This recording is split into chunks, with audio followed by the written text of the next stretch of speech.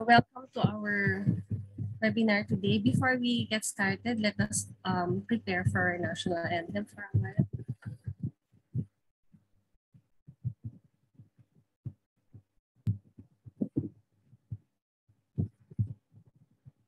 Miss Jane.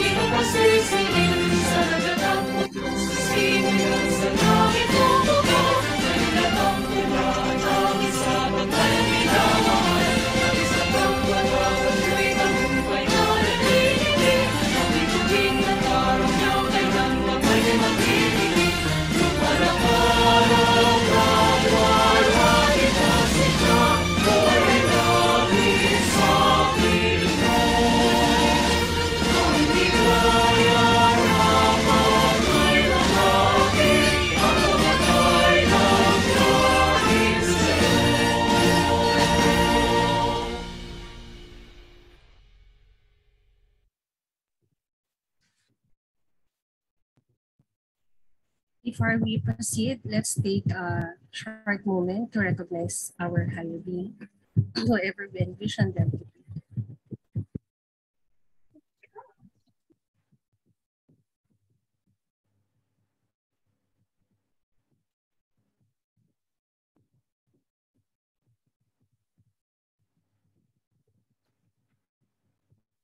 Good morning once again, colleagues, and welcome to our webinar for this morning. And this is um, entitled Research Mentoring Strategies and hosted by the SEAT Tenureship and Mentoring Committee under the SEAT webinar series, Future Proofing and Enabling Strategies for SEAT Stakeholders. Yan po. So, kumusta naman po tayo ngayon? It is a rainy morning and um, before we start, I would like to uh, welcome everyone again and recognize um, some of the important guests and colleagues that we have with us. Um, Sir Marish, uh, one of our speakers, and Sir Rex also. Sorry. And um, we'd like to recognize also the current SEAT team, Dr. Amongo, and our department chairs and unit heads and uh, former uh, members of the SEAT administration also. Uh, there's a lot of um, participants here, so I will just get back to the rest later. Ayan. So good morning once again, everyone. Um, to start, officially start our um, mentoring strategies webinar today, uh, we'd like to welcome the current SEAT team, Dr. Amongo, for the opening remarks. Thank you, Ma'am Annie. So, good morning, everyone. Yan, ang dami natin. Nakakatuwa. So, sabi nga ni Ma'am, it's a rainy Tuesday morning. Uh, makulimlim. So, uh, of course, before anything else, I would like to uh, greet uh, Sir Rex Demafilis. Good morning, sir. He is one of our speaker for today. Si Sir Marish, nasa na po si Sir Marish. Good morning, Sir Marish. At si, meron pa tatlo sila, di ba, Ma'am Angie? Uh, I know there are three. Dr. Elia po. Ah, nandito na ba si Dr. Elia, ang aking mentor? So, so today, I know it's a very uh, important day again to say it.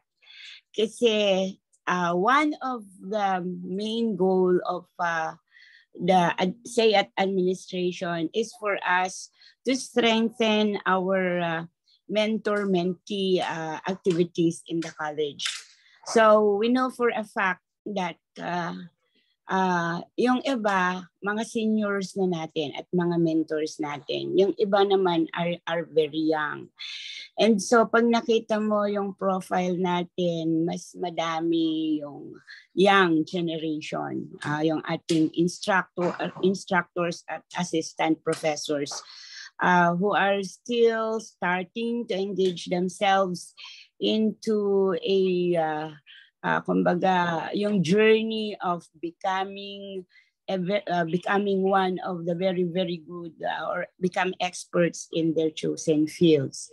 So um, uh, this would really inspire everyone, lalo't ang ating mga speakers ay mga uh, scientists.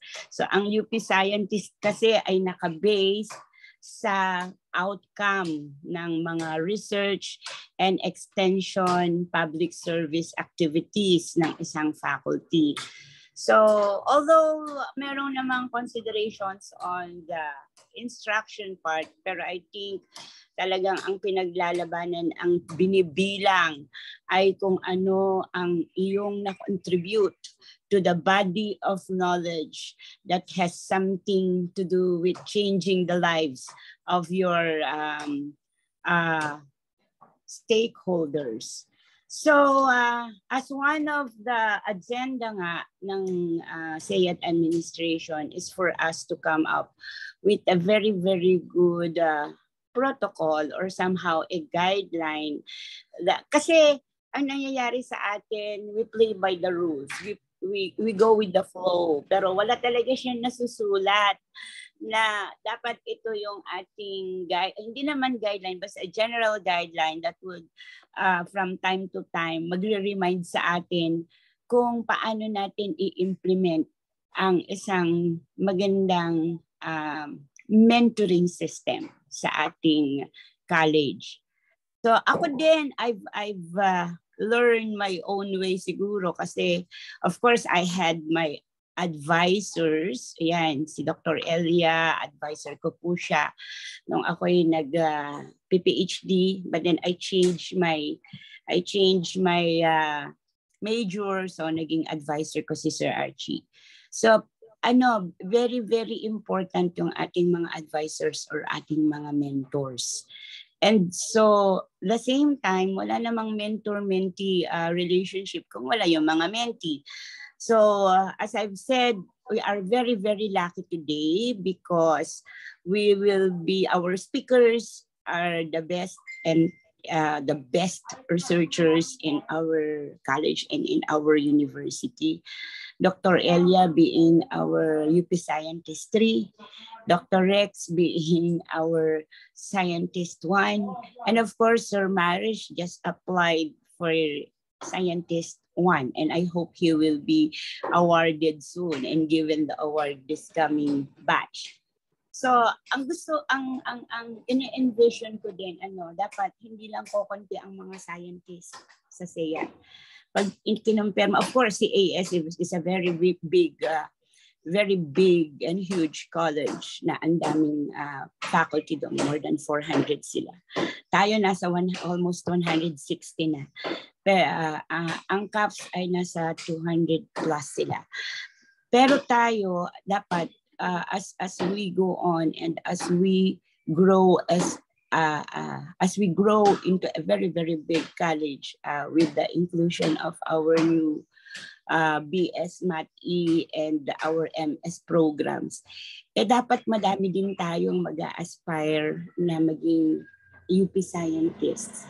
Uh, and that would be part of the mentoring system. So habang gumagaling tayo ng mga mentors, lalo tayong gumagaling din to impart to our students on how we will mold them in terms of uh, the whole the holistic approach of uh, academically uh, they are excellent with the knowledge and skills. And of course the moral values So, uh, I think very exciting yung araw na ito dan sa prepare ng ating mentoring committee. So, before I end my my welcome address to you, I would like to thank especially the team of uh, our mentoring team, si Ma'am Angie. Ayan, hindi ko na memorize kung sino pa yung iba't ibang members. Of course, alam ko si Ma'am Annie kasama siya dyan. So, uh, salamat po sa pagtulong at pagsuporta ito ay hindi lang para sa atin individually but of course it's for the whole Sayat family and for uh, the whole uh, Sayat team. So kailangan po natin ito at sana po uh, yung araw na ito ay the rest of the uh, the half day po tayo the rest of the day will be really a fruitful day. So again, thank you. Ayun na naman, ito na naman. As, and I, I, I am saying, I am always saying that as we move act as one, act as one, one love, one sayat. So good morning po sa ating lahat. Thank you. Thank you, Dr. Amongo. Uh, yeah, we actually do look forward ano, to the time that we would have a lot more UP scientists from SEAT. Sana after so many years, eh, nagbibilang na rin tayo ng sindami ng CAS. Kasi as um, we know naman, we are into the technology and this is really something that we have as a very big asset in SEAT. Ang dami nating um, capabilities and this is a very nice way to start our um, next few years ayan, with the very best speakers today. And of course um, marami pa pong naka, ano, nakaplano in the future ang it I'm sure. So ayan hindi ko na patatagalin pa to. Let's move on to the first speaker. Excited na po ba kayo? Pa-heart naman po kung ano excited na tayo. Kasi ako excited na. Ayan Ma'am, speaker kasi I natin request, yes po. Ma'am Annie, before I leave, kasi po meron po akong 9 o'clock na kasunod, pwede po ba tayong mag-picture para kasama po ako Ay, bago mag-speech?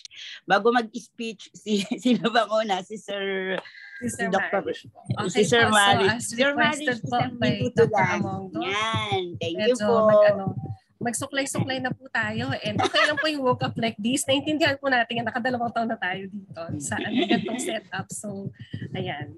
Um, I'd like to invite everyone to open their videos. Ayan. Miss Jane, ikaw ba mag-take ng ating picture? Yes, ma'am. Okay po. Bahala ka na mag-queue. Ayan, let's just wait for Good the morning. um, Good morning, Sayat. Ayan, oh. gaganda. Ayan. So, pa-open po ng cam. Okay lang po, medyo bibigyan namin kayo ng konting time na magsuklay kung gusto po natin. Ano, hindi yung up like this.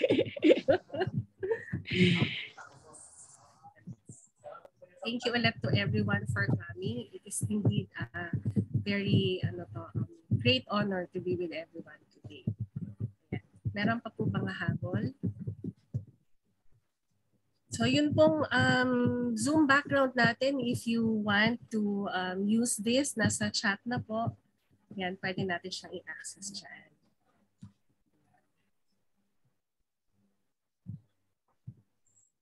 Yun pong mga hindi makakapag-open ng cam for one reason or another, we'd like to invite you na ano, paklik na lang po ng heart para naman may proof of life daw.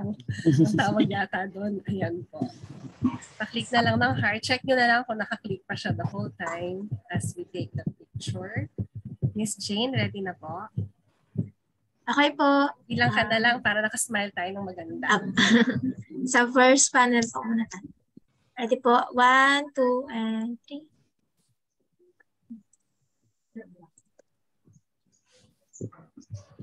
Next panel. One, two, and Thank you po. Thank you. Thank Sige you po. po. Thank you po, ma'am. Ah, ah, magli-listen na lang po ako. Thank you. Okay po, ma'am. Yan po. So again, uh, welcome again. Yan, dami ko nasabing welcome mula kanina pa. So, um, Miss Jane, pa-share na lang ng PowerPoint ulit. Thank you. Yeah, as we start our morning, we are very privileged to have three um, of the best speakers that we can tap for this event. And uh, the first speaker is a licensed civil engineer who graduated from the Civil Engineering Department, UPLB 1997, and further earned his graduate degree in Master of Science in Civil Engineering in UP Diliman in 2004. After this, he pursued a Doctor of Engineering at degree at uh, Tokyo Institute of Technology, completing the degree in 2009. He has been serving as a faculty member in the Department of Civil Engineering for 24 years, teaching structural and construction engineering courses. His research interests include strength and durability of concrete, as well as corrosion of steel, and he is currently involved in the research funded by the Fisher DOST entitled Development of Nanosilica-Based Anti-Corrosion Coating. Colleagues, it is my privilege to welcome to our Zoom stage the former UPLB Vice Chancellor for Planning and Development, Dr. Marish S. Madlagunayan. A virtual applause naman po. Thank you.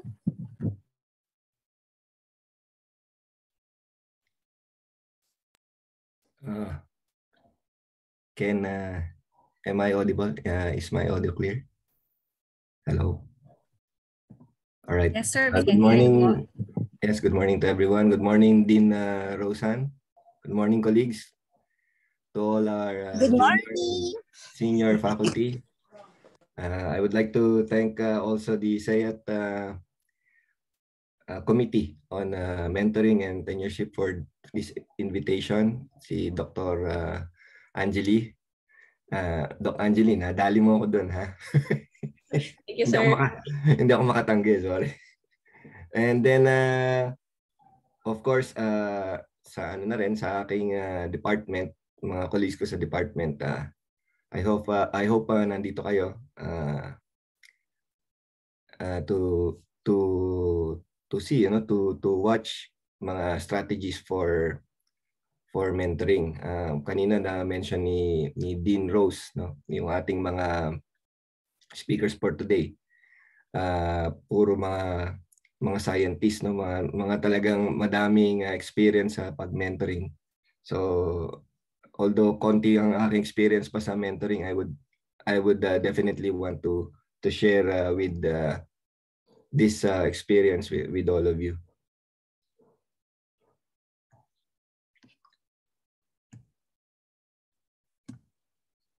All right. Uh, I hope you can uh, see a PowerPoint uh, presentation now.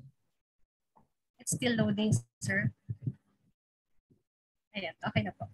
All right. Uh,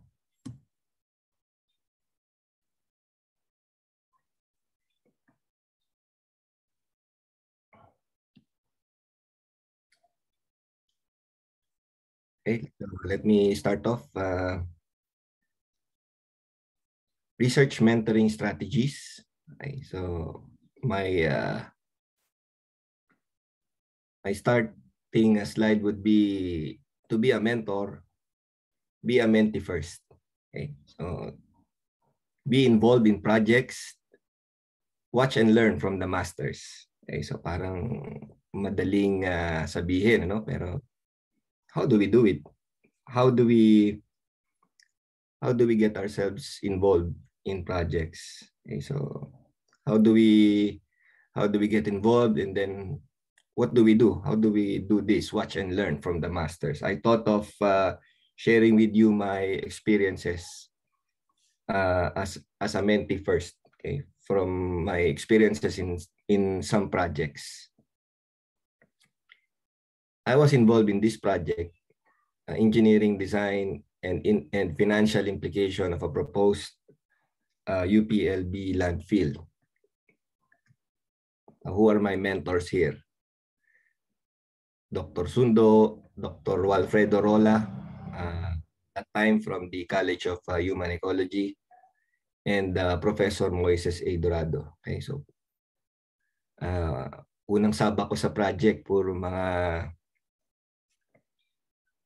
how do you say this? Mga mga macho at mga pogi at mga, you know, mga light uh, people. Okay, so alam niyo naman when when uh, Sir Buboy Dorado, Sir uh, Wally and Sir Sundo ay pinagsama-sama natin. The the mood is is always light and uh, happy. No? Now um, this is uh,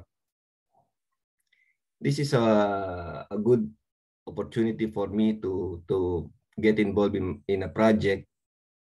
Now I'm a lucky uh, faculty, I, I would say, that uh, hindi ko na hinanap yung yung first project ko, no? yung yung first project yung lumapit sa akin. And uh, the they they they uh, made sure they made sure that uh, I was uh, comfortable no as a member of the project okay so how did they do that okay when um, siguro makikita nyo dyan um, Dr. Marlo Bisundo because uh, from the start ano siya naging uh, mentor ko siya uh, isa siya sa mga uh, naging instructor ko nung ako ay college pa so basically alam ni Dr. Sundo lahat ng aking uh, capabilities no, as an engineer. Kaya niya ako siguro sinali dito sa sa project na ito. Okay? So when uh, because they believed in me na kahit na ako ay part maging part dito sa project na ito. And uh, And siguro also, I'm not sure, no? baka naman wala na rin silang choice, wala na makuha kaya kinuha nila ako. Okay? So when when when I was there with the project, simple lang, no? I watch and learn from from these three guys. Okay? How do they package a proposal?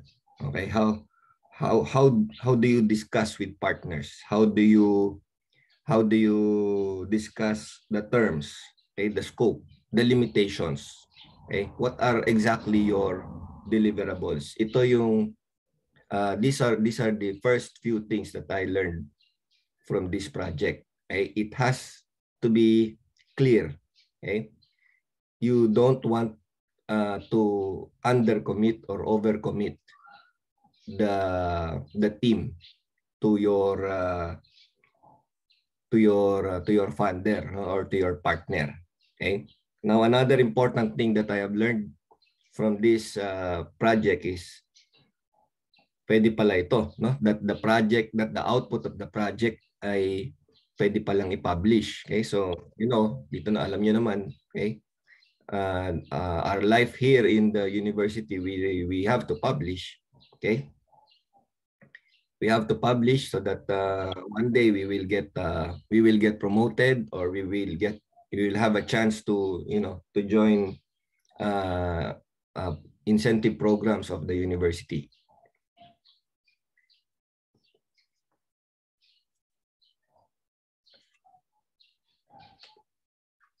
I have a some some sort of a unique project na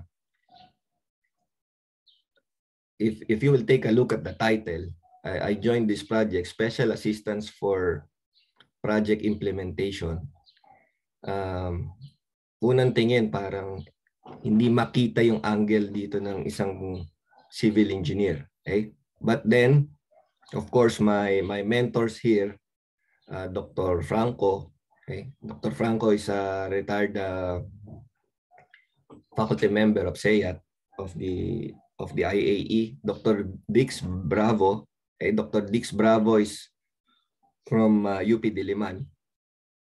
Uh, actually, she graduated here in uh, UPLB, but uh, she's a member of the faculty of UP Diliman under the School of Urban Planning and uh, uh, School of Urban and Regional Planning, sa SERP. Okay? And then, of course, uh, our very own from SIPAF, Professor Blan Pantoja. So here, actually, uh, again, no, just like in my first experience sa uh, project one, project one, they they they made me feel comfortable. Okay, they they assigned me the tasks that uh, that is the tasks that are needed from a civil engineer. Okay. And then of course, uh, I learned tools, new tools, okay? Gathering and reviewing data from project documents and other sources, KII or key, key informant interviews, focus group discussions, ito lahat. In fact, dito ko natutunan lahat ito. If if uh, if uh, if uh, hindi ako sumali sa project na to, then baka uh, until now hindi ko alam gawin itong mga tools na ito no? Uh, in in a project. Uh, from an engineer uh, I learned to be more of a uh, how do you say that? A member of a social social scientist uh, team. Okay now for this particular project our our objective is really to troubleshoot uh, troubleshoot the project because there there was something wrong with the with the help for Katubig Agricultural Advancement Project. Okay, so that project something went wrong. So our team needs to troubleshoot that uh, that project and uh, there is a component there called the rural infrastructure component. Okay, so that that is where a civil engineer comes in. So that that is where I I, I came in. No? Um, all the components of uh, the civil engineering uh, aspect uh, was handled or were handled by by a civil engineer. Uh, roads from roads to to drainage and uh, even the even the structural component of the irrigation. Okay, so so doon ako tumulong. Okay.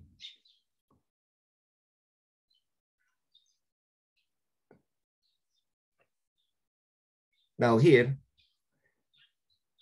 actually, I, I, I got to experience uh, working with several, really several mentors. No? But just to name the, the biggest, just to give you the biggest names, no? Dr. Rex Victor Cruz, Professor Marlo Mendoza, Dr. Antonio Carandang. Okay, so of course, ano na, yumao na po ang ating uh, mentor na si Dr. Antonio Carandang. Um, siguro dagdag ko na rin dito uh, sina Dr. Ike Tolentino, former Vice Chancellor Ike Tolentino, Dr. Juan Pulhin, Dr. Uh, ay sorry, Professor Sani Querijero, okay, and and many many more, okay? Ito this is my first uh, ano siguro uh, how do you say that big interdisciplinary project consisting of foresters, uh, engineers, of course. Okay, so kasama ko po dito yung mga engineers from SEAT, sina Dr. Luyun, uh, sina Prof. Buboy again, sina, sina Prof. Balyaran, and uh, many more, no? mga sociologists, economists. Okay, so it is good no to be part of this group so that you can see the perspective of other uh, specialists. Okay? So for example, um, tayo mga engineers, we might be building, we might be trying to plan on building something and then uh, from another uh, from a viewpoint of of of let's say an an environmentalist okay so makikita yung yung limitation of those plans okay in uh, in in this project also i i worked with uh, with uh, Professor Mero uh, from uh, Marawi State University. I would say in a good way, no? not, not really in a bad way, that Professor Mero is uh, madami siyang madami siyang alam no para bang uh, uh, how do you say that uh, jack of all trades parang ganon na professor na whenever whenever uh, Sir Buboy me um, Sir Enteng needs data or needs a takeoff point in order for us to to process the data, make a model. It seems like laging may sagot sa amin si si Prof Mero. Okay? Mm-hmm. So why is this? Uh, nakita namin si Prof Mero ano, meron siyang uh, that time meron siyang uh, huge collection of of data already. Okay. So whenever ang kagandahan kay Prof Mero, whenever na-mention namin yung mga data needs namin, ah ito, kopyahin mo to. Ganun yung ano niya eh, ganun yung yung uh, attitude niya sa amin. Napaka ano niya, napaka generous, okay? Um he he will he will even state the the name of the tanda pa niya, eh, the name of the project, the past project. Uh, here you you go to this project. Uh, something is mentioned there about modeling, etc. Yung kailangan ninyo. Okay, so ganun siya ka ganun siya ka accommodating and uh, we we we felt that uh, uh, in addition no to the team although si Prof. Mero is just one of the resource person of the of the project no, malaking bagay siya sa amin as a as a mentor no sa amin that time mga mga ano kami noon mga nakikinig talaga kami sa sa mga payo niya. And then of course, uh, you know, when when working with several agencies, kasi that time we work with DNR, DPWH, NAPOCOR. Okay, so dito ko talaga nakita yung ano eh. Um, I I saw the the the skill, the management skill of of these big guys, no? Sina, lalo si lalo si of course si Dean, Dean na siya ngayon, Dean Dean Marlo Mendoza, no? Uh, uh, para bang nakita ko one na nakita ko while he was speaking I, I would like to I would like to speak that way to to a big audience one day. Parang yun yung pumasok sa sa isip ko eh. Kasi uh, when, when he speaks no it it seems para bang walang problem okay? It seems that for each problem he already knows how to deal with it and then he he expresses it he shares it with the audience uh, na para in in a way na para bang kayang-kaya naman niyang gawin eh. There is a there is a solution to that. Always always positive. Okay? So uh, siguro uh, because of his experience na rin. Alam niyo si si Prof Prof Marlo Mendoza was was once an ASEC eh, 'di ba sa sa DNR. So nandun na yung yung confidence niya to to deal no? To, to deal with several people and several agencies. To deal with several people and several agencies. Um, now special mention here of course is Marawi kasi that time uh, hindi ano and how do you say that? Uh, we have to we have to put a little bit of a no we have to to to really put some some uh, safety uh, how to say that? Safe um, when we went there when we went there we had a special uh, accommodation no? We were accommodated by by some groups that would take care of of the safety of the team no? Kasi that time Marawi is in uh, uh, the political uh, the political situation in Marawi is really not so not so stable that time that time. Um, so again no as as uh, as a mentee na natutunan ko yon na uh, kailangan pala ganun din no? Uh, we have to we have to to set aside a little bit of an investment no for for for our safety no? We for our security and safety. Uh, several years after that third project, uh, ito yung time na to I was ano I was already a, a vice chancellor at the planning and the office of the planning and development office of the vice chancellor for planning and development. Nakakuha kami ng ganitong project the UPLB an energized community based sustainable energy research program okay? For the first time um, I experienced being a program a program leader okay? So parang uh, a little bit uh, higher level okay? But but here okay actually i consider i still consider myself a mentee from uh, my bosses are shown here no? Dean amongo dr sundo dr paras and uh, dr uh, fajardo okay? Because the program involves energy okay?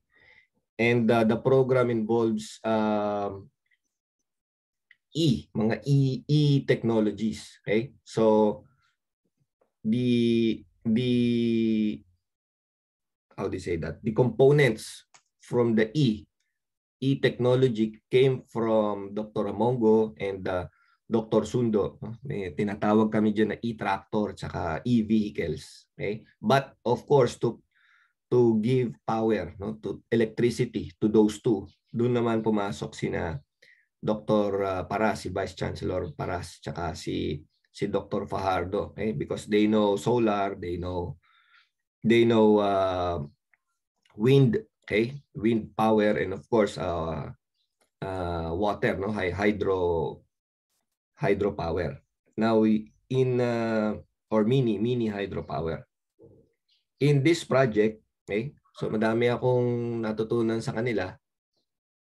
Okay? Uh, other tools, no? I I I will call them tools, no? In in uh, in additional, no? additional tools in running a project, no? Needs and demands assessment, perception survey, design and testing, sustainable management plan. Okay? And then and then also I got to experience kasi madami na silang experience that time sa mga projects natuto din ako mag-handle mag mag mag uh, admin mag administer no ng ng isang ng isang program in terms of its finances no contracts uh, procurement okay at least uh, natutunan ko yan no how, how do we when when we have the money for a program how do we spend the money let's say nasa ano siya, nasa foundation yung pera.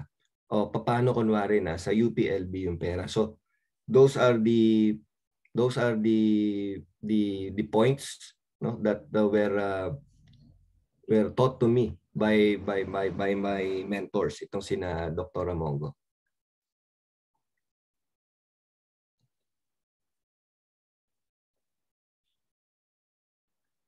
Ayaw gumalaw.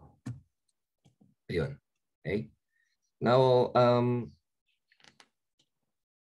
of course, yung output ng program, no, walang uh,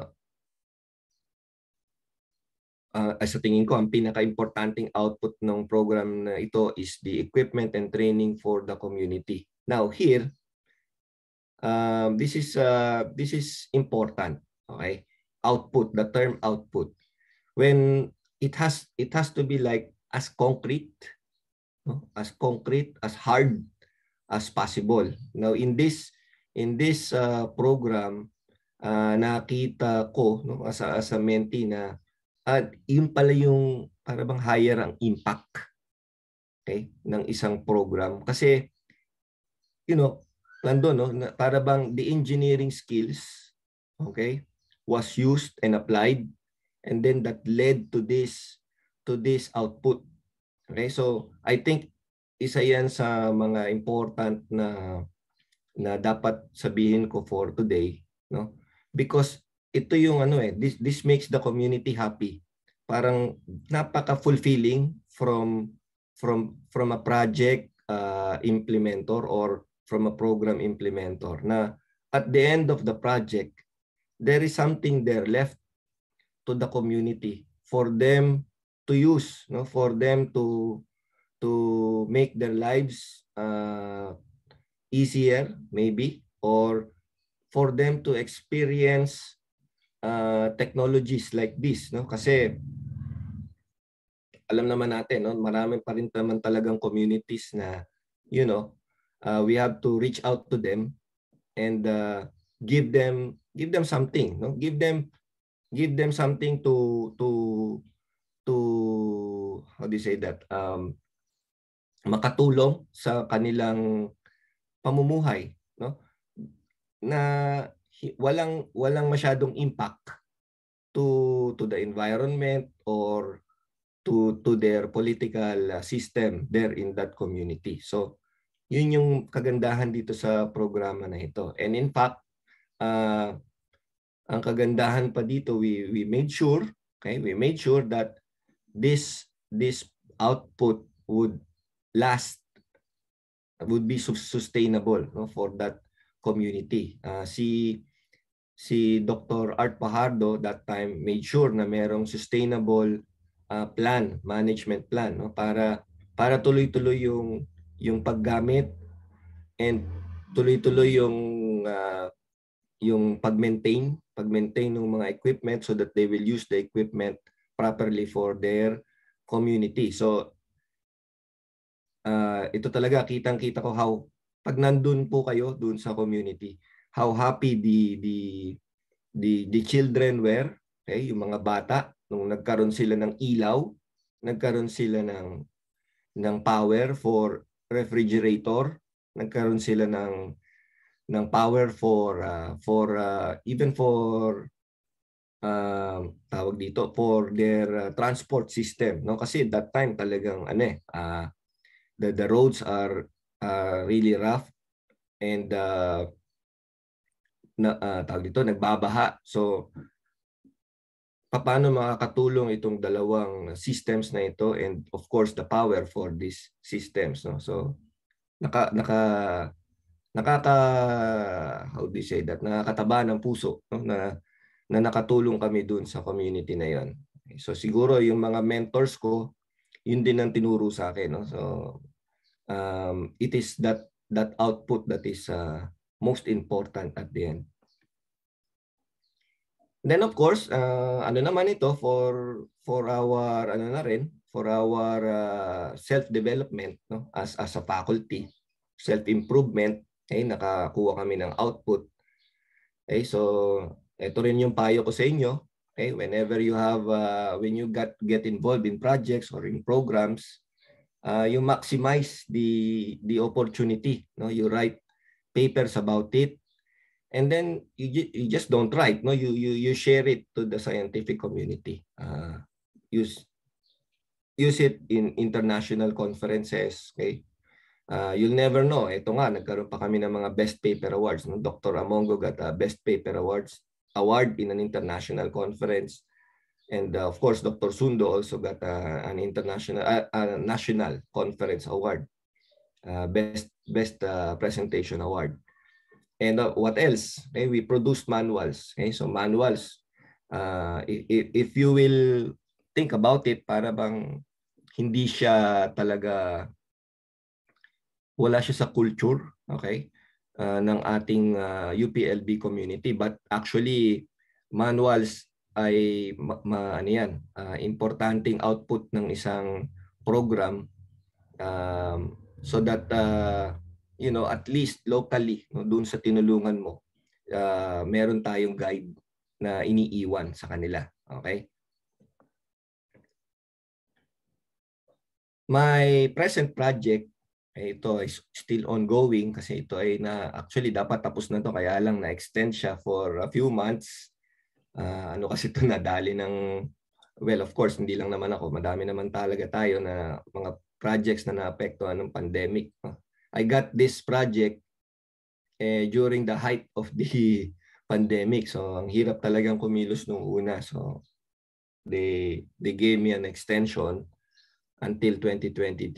Okay, so again, I experienced being a leader here. So this is my para bang second time no to to lead to lead a project.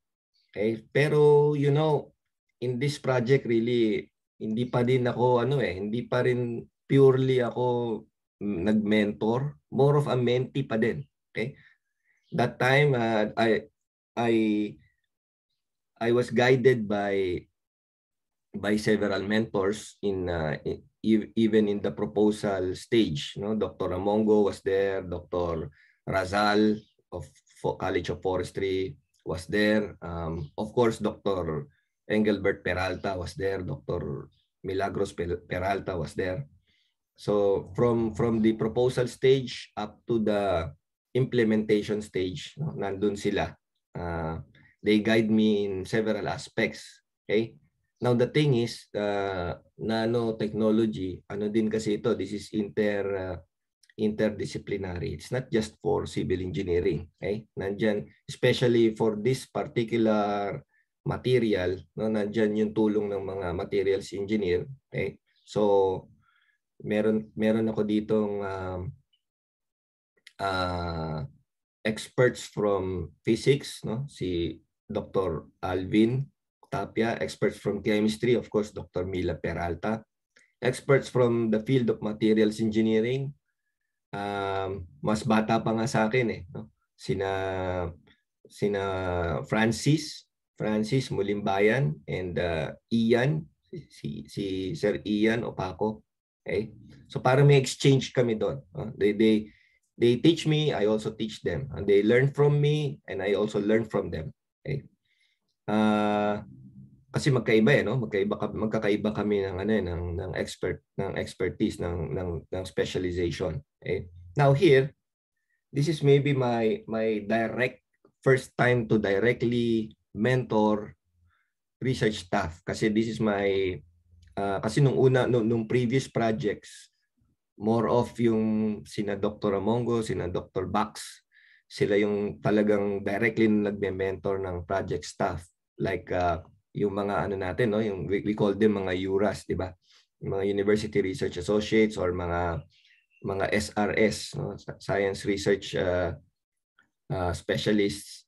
So this time talagang ako na no? I I I experienced firsthand directly um, mentoring the research staff okay? So yung mga natutunan ko noon no, from from my from my past projects kahit pa paano tinuturo ko dito sa aking mga project staff okay? Which are the supplies that I have to prior to prioritize? How do we uh, prepare the the the reports no? How do we work within the the LIB itong mga to while while practicing while development developing the skill tinuturo ko na rin doon sa aking mga mga project uh, staff okay?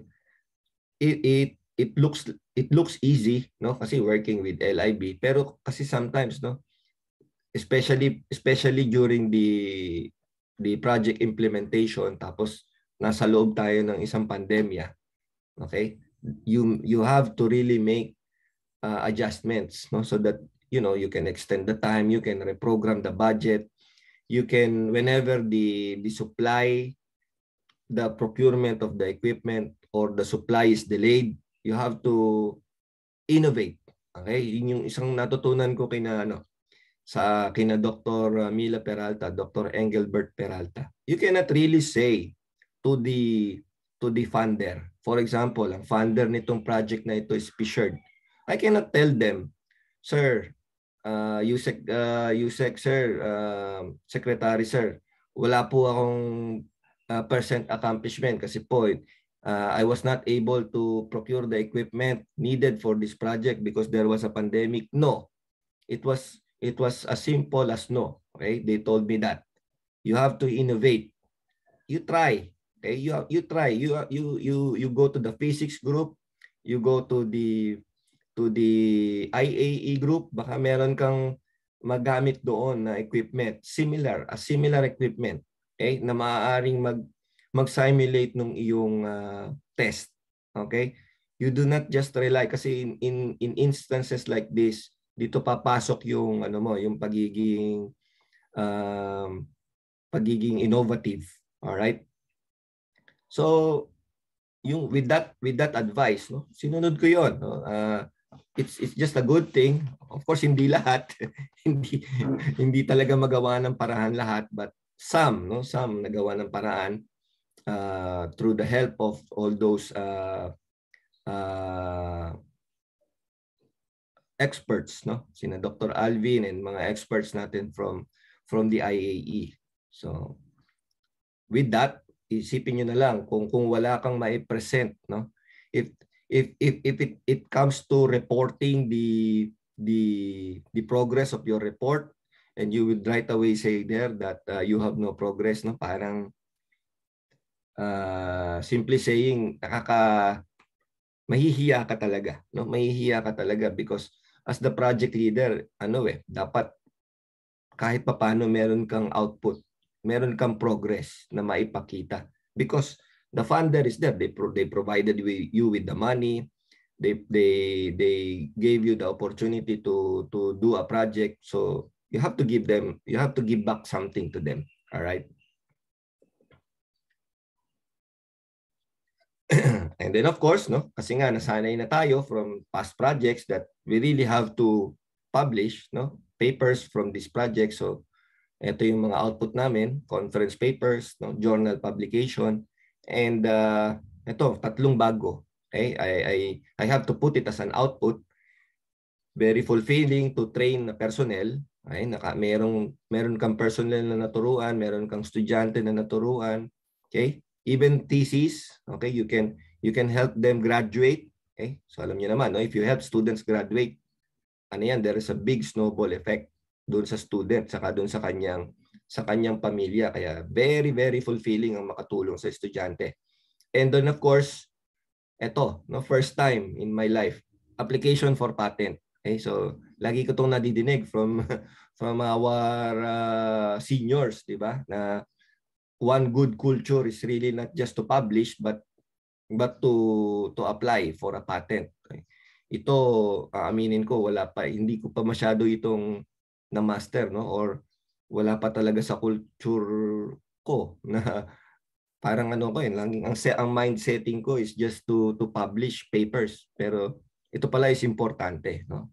Uh, you'll never know. Okay? Baka meron ka na palang na invent okay something good and uh, you try no you try to you try to you try to apply for for a patent okay now Andiyan naman ang TTBDO. TTBDO will help you, will, will, will, will monitor, will help you uh, in your application for a, for a patent, uh, yung, yung local or, or international patent.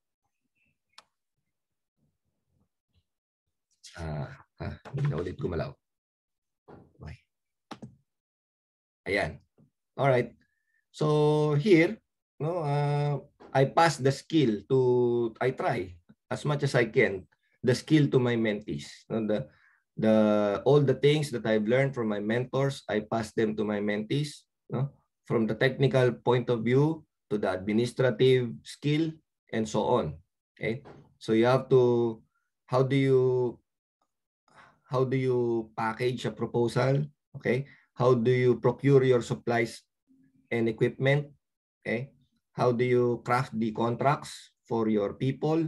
no and how do you submit prepare and submit the the program the progress reports okay um if if uh, kasi ito no sa akin these these are like the the basics so that you will be like a stress free leader in in implementing the in implementing the project you i think you have to master all these uh, skills now uh, to let this is like a second part of my presentation. I try to get research project, okay?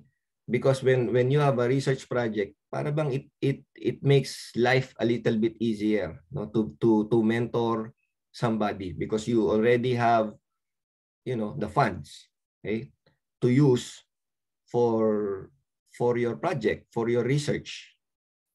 Okay? So sa akin, ito yung mga pwede na pwede ninyong pasukan. Okay?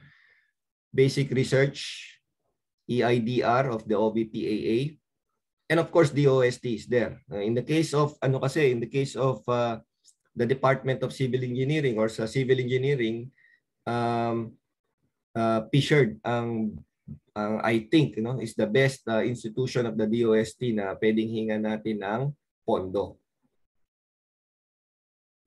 Okay, whenever I have a funded research project, okay, maliit ba yan, malaki, I made sure that uh, I set up the laboratory. No, I I make I I I make make sure that kahit paano I add to the equipment of the working laboratory in the department.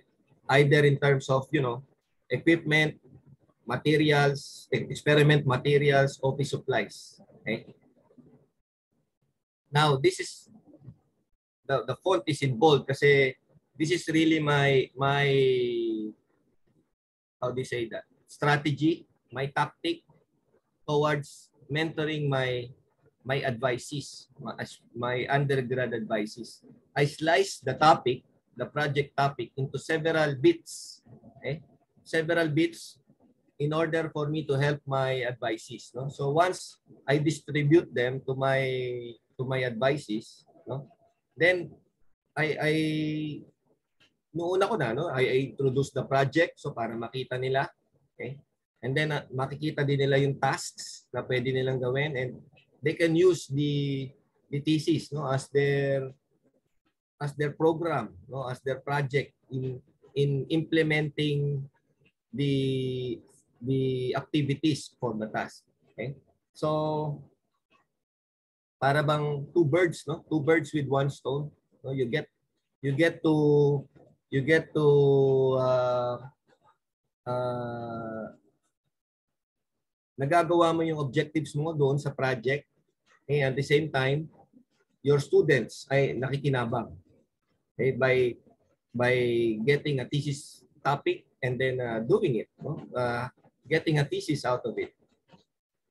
Alam nyo, malaking bagay kasi yung ano eh, yung uh, once once you give a topic to your undergraduate student, it's really a big deal.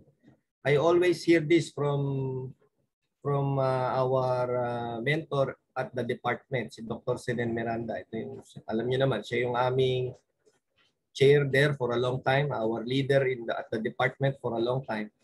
And I quote, ito yung lagi niya sinasabi sa amin, my advisor in Cornell University always tell me that 50% of the work is done once the topic is identified.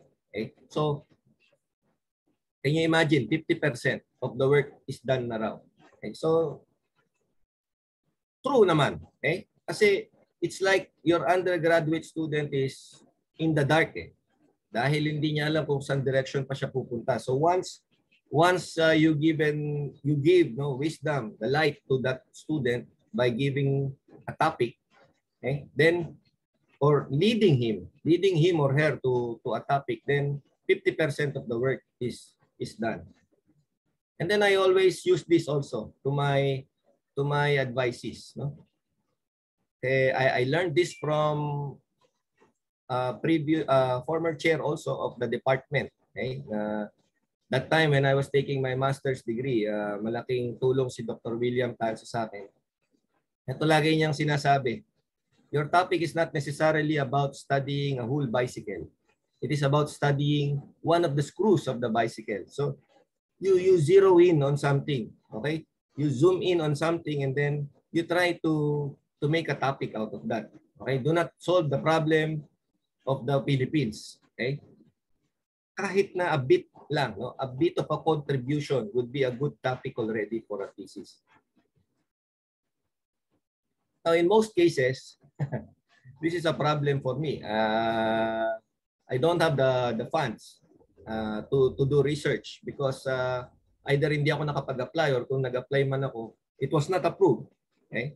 So, what do I do? Well, life has to go on. Ika nga, no? When I do not have a funded research project, I make do with what the laboratory has. Uh, we are lucky in the department because kahit pa paano, our predecessors have already, how do you say that, set up, set up the the laboratory with the basics. No? There is a universal testing machine there.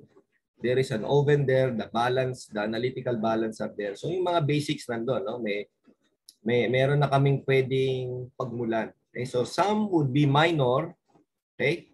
Relatively, of course, relatively minor. So as much as possible, minimum na lang yung cost.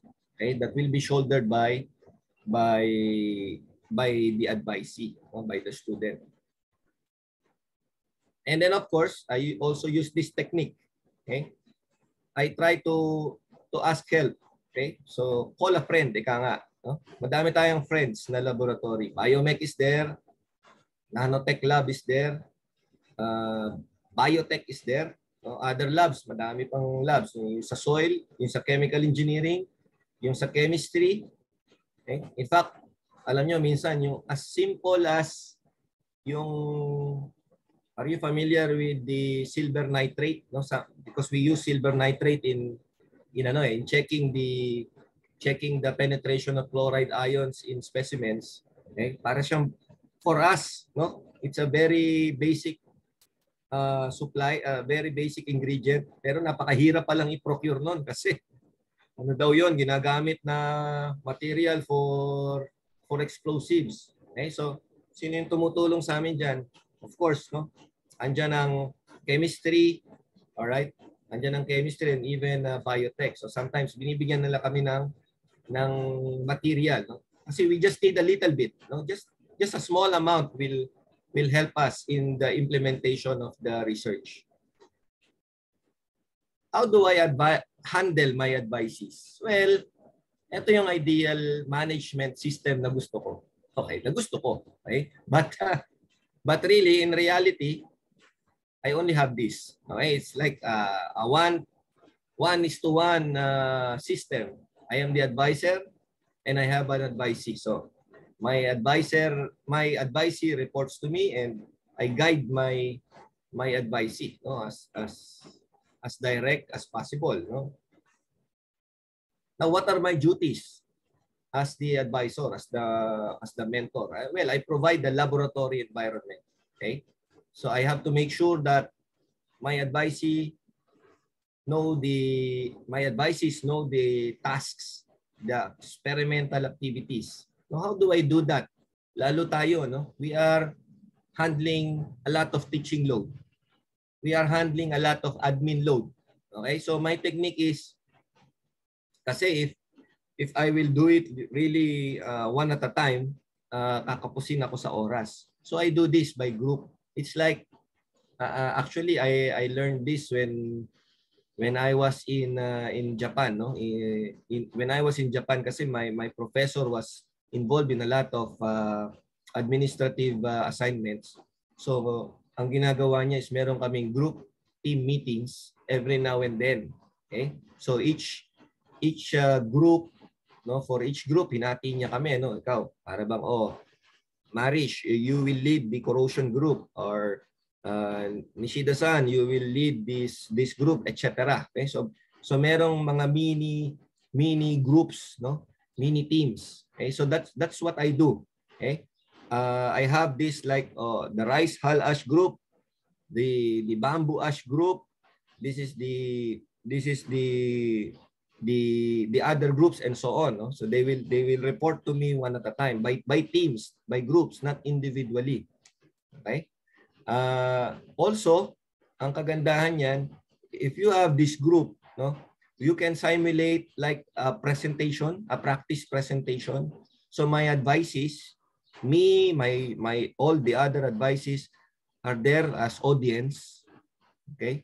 And then they the the student will perform a practice presentation. So parang mahahasa siya, no? Yung kanyang confidence, magkakaroon din siya ng confidence to, you know, humarap sa isang audience. Ah, medyo na ano lang to, this this technique, this tactic ay medyo natigil simply because nagkaroon tayo ng ano eh, nagkaroon tayo ng ng pandemic, no? So naging online ang mga ang mga presentation. Now, he, this one, this one I learned na in the department. Okay, so I want to share this with you. Eh, siguro yung ibang departments are also doing this. Okay, in our department, there is an output by the student, by the advisee. It, it's what we call the eight-page summary. Now, the eight-page summary, uh, Dr. Sundo and I have a different approach to this. We we try to to put it in a in a format in a format ng isang journal publication already. Okay? Now why is that? Because, you know, hindi mo masabi, no? The the the the work kahit na yan ay isang undergraduate student, especially yung mga laude material natin na, stud na estudyante. Yung trabaho po nila is publishable and we we have already done this in the past, no? Si Dr. Sundo, Dr. Safra, uh, Dr. Velasco, nagawa na nila ito. Nagawa na namin to. No? Either we publish the paper sa international conference or sa isang journal. No? Um, we, we publish the, the works of yung mga laude students namin. Di Masaka, Ronquillo, uh, Blasco, and uh, etc. Now, why is this important? Kasi we, we felt na one day, these people might, you know, go into the direction na na medyo hawig sa career natin, 'di ba? As a, as a faculty. They might they might go into a master's degree later on or even a PhD. They might go to the academe later on. And ganun na nga actually yung nangyari. Okay? Ganun na nga yung nangyari. Uh, Jonathan Lasco that time naging instructor namin. Actually not not for a long time. Uh, you know Jed, okay? You know Jed uh, our faculty Jed uh, Aguirre. Uh, Jed is also uh, naturuan din namin siya, okay? Na you try to publish your work in a conference paper or in a journal and look at him now, no? He is now uh, uh, on on on really on that direction no nag-aaral na siya so sa PhD and hopefully pagbalik niya uh, he will no he will continue that culture no of publishing and even uh, doing uh, projects here at the university matulungan ng university uh, I I think ito yung mga susi tala ito yung isa sa mga susi no na nag-inspire doon sa mga estudyante natin na magkaroon ng ganong kultura. Now, not all. Okay, hindi hindi po nagwo-work lahat. Uh, siguro 50% or even higher. 60 to 70%. Um, kasi uh, alam niyo naman no sa sa kalakalan natin ngayon, lalo mga civil engineer, uh, once we train them, once we get that once they get that skill, uh, wala eh no the the the, the temptation of of uh, serving the university, going to research is natatalo nung ano eh nung nung isang temptation yung yung kasi malaki, malaki po ang salary pa rin eh sa sa private uh, pagiging engineer no sa isang private lalo na sa international uh, group no uh, kaya yon uh, marami pa rin no marami pa rin yung nakakawala but still no we are happy na meron pa rin no nakakaisa dalawa no nakakaisa or dalawang uh, estudyante na nagpo-pursue uh, ng ng research. Okay? And then they know how to do the research no? kasi naturuan natin sila. Uh, I learned this from Dr. Sundo din, itong mga tactics na ito. Okay? Encourage publication. How do I do that? Okay? So, ako personally kasi I was guided by Dr. Sundo. Nagkaroon kami ng senior-junior tandem. Whenever we write paper, papers, we are a tandem. No? Whenever we we try to present our output, we are a tandem. Okay? So, siguro 'yon yung magandang share ko dito sa presentation na ito. Baka in your case, no, magkaroon kayo ng ng katandem. All right. Now, of course, uh, i-guide nyo na rin yung inyong katandem. you try to guide them. Uh, ano ba yung better conferences to join? Uh, for in our case, uh, we try to, meron kaming mga suki, no? we call them suki na mga conferences. We, we always go there and present our papers there sa PICE. Okay, yung ATARS, ATARS is like the Tokyo Tech uh, Society. No? Kasi kami ay mga alumni ng Tokyo Tech. So, we we use that society, yung mga, how do you say that? They're, they, they invite us no? to to several conferences that that they organize and then we join them in those conferences. Of course, ISAT is there, no? Yung ating ISAT, suki tayo kasi we UP is UP and UPLB is a member of that uh, uh, ISAT. Uh, let me end by ito, no? With this slide. I maintain the network that I have. I try to add to that network. Okay? So, yung aking mga Japanese professors, former lab mates, no, Japanese and other uh, international students na nakasama ko noon when I was uh, in Tokyo Tech, no? I try to to to keep it, no? Yung network na 'yon. Okay? Uh, because it is through these networks where you learn new ideas, Okay? Kaya meron dyan equals new ideas, new topics. Okay? You are up to date with the problems that they are troubleshooting or trying to solve or contributing to solve. You are uh, you are you also have a way of sharing what you have.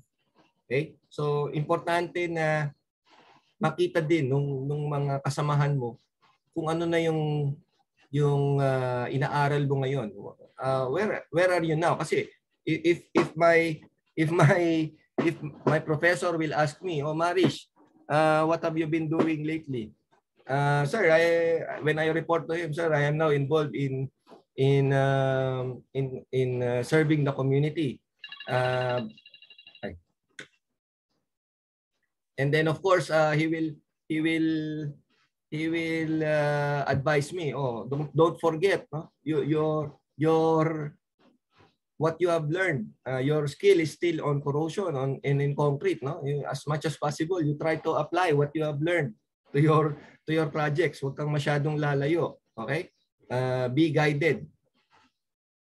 Um, matanda na siya, no, retired na siya pero still no, very ano pa rin siya sa akin, very active no? In in giving me advice. So one day I I look up to him kasi. So one day baka maging ganun din ako. Sana, sana maging ganun no that that my my my mentees would still uh, would still uh, ask for advice from me and then I will give them advice. Uh, thank you for your time, for your kind attention. I hope you learned something from this uh, presentation. Maraming salamat po.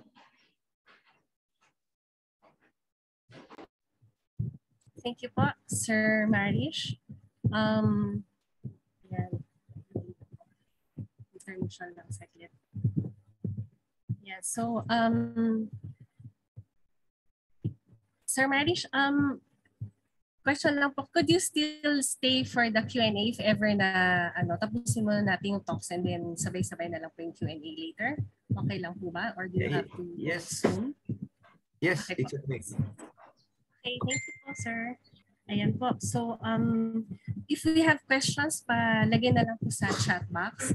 We'll just uh, read them later. And then, um, ayan, so, ayan, thank you again, sir. We really learned a lot from you. Dami ko na notes actually. And it is very, ano to, ang na, na um, paulit-ulit na narinig ko kay sir eh, kahit na uh, nakapag-research ka na, you're always still a mentee.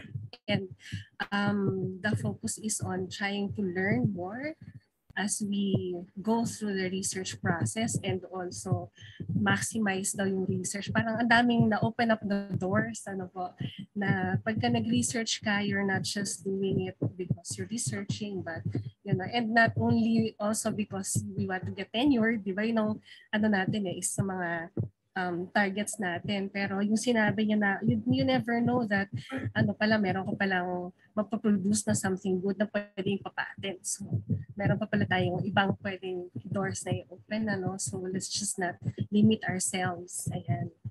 Thank you po again, sir, for that very inspiring message and advice to us, especially yung mga younger faculty sa atin na um, interested na mag-research pero we don't know the first thing to ano, do to go about it. Ayan. Thank you ulit, sir. Uh, moving on po to our second speaker. He is a Professor 12 at the Department of Chemical Engineering, SEAT, and uh, UP Scientist 1 under the UP Scientific Career System. He obtained his PhD research in environmental science and management from UPLB and his master's in chemical engineering from UP Diliman and his BS Chemical Engineering where he graduated cum laude from the University of San Agustin, Iloilo City. He is a multi-awarded chemical engineer who received the following awards. 2022 Philippine Federation of Professional Associations National Excellence Award in Academe Research and Development, 2021 UP Alumni Engineers National Achievement Award in Engineering Research and Development, 2018 Outstanding UPLB Alumnus for Research Management and Administration, 2015 Manila Water Foundation Prize for Engineering Excellence, in 2014 UP Outstanding Senior Research Researcher in National Sciences, in 2013 Professional Regulations Commission Outstanding Professional of the Year, and in 2011 UPLB Outstanding Teachers Award in Physical Sciences. He served as the National President of the Philippine Institute of Chemical Engineers, or PICHE, from 2004 to 2005, and is currently the chair of two interdisciplinary centers in UPLB, including the UPLB Interdisciplinary Biofuels Research Study Center and the UPLB Interdisciplinary Life Cycle Assessment Laboratory.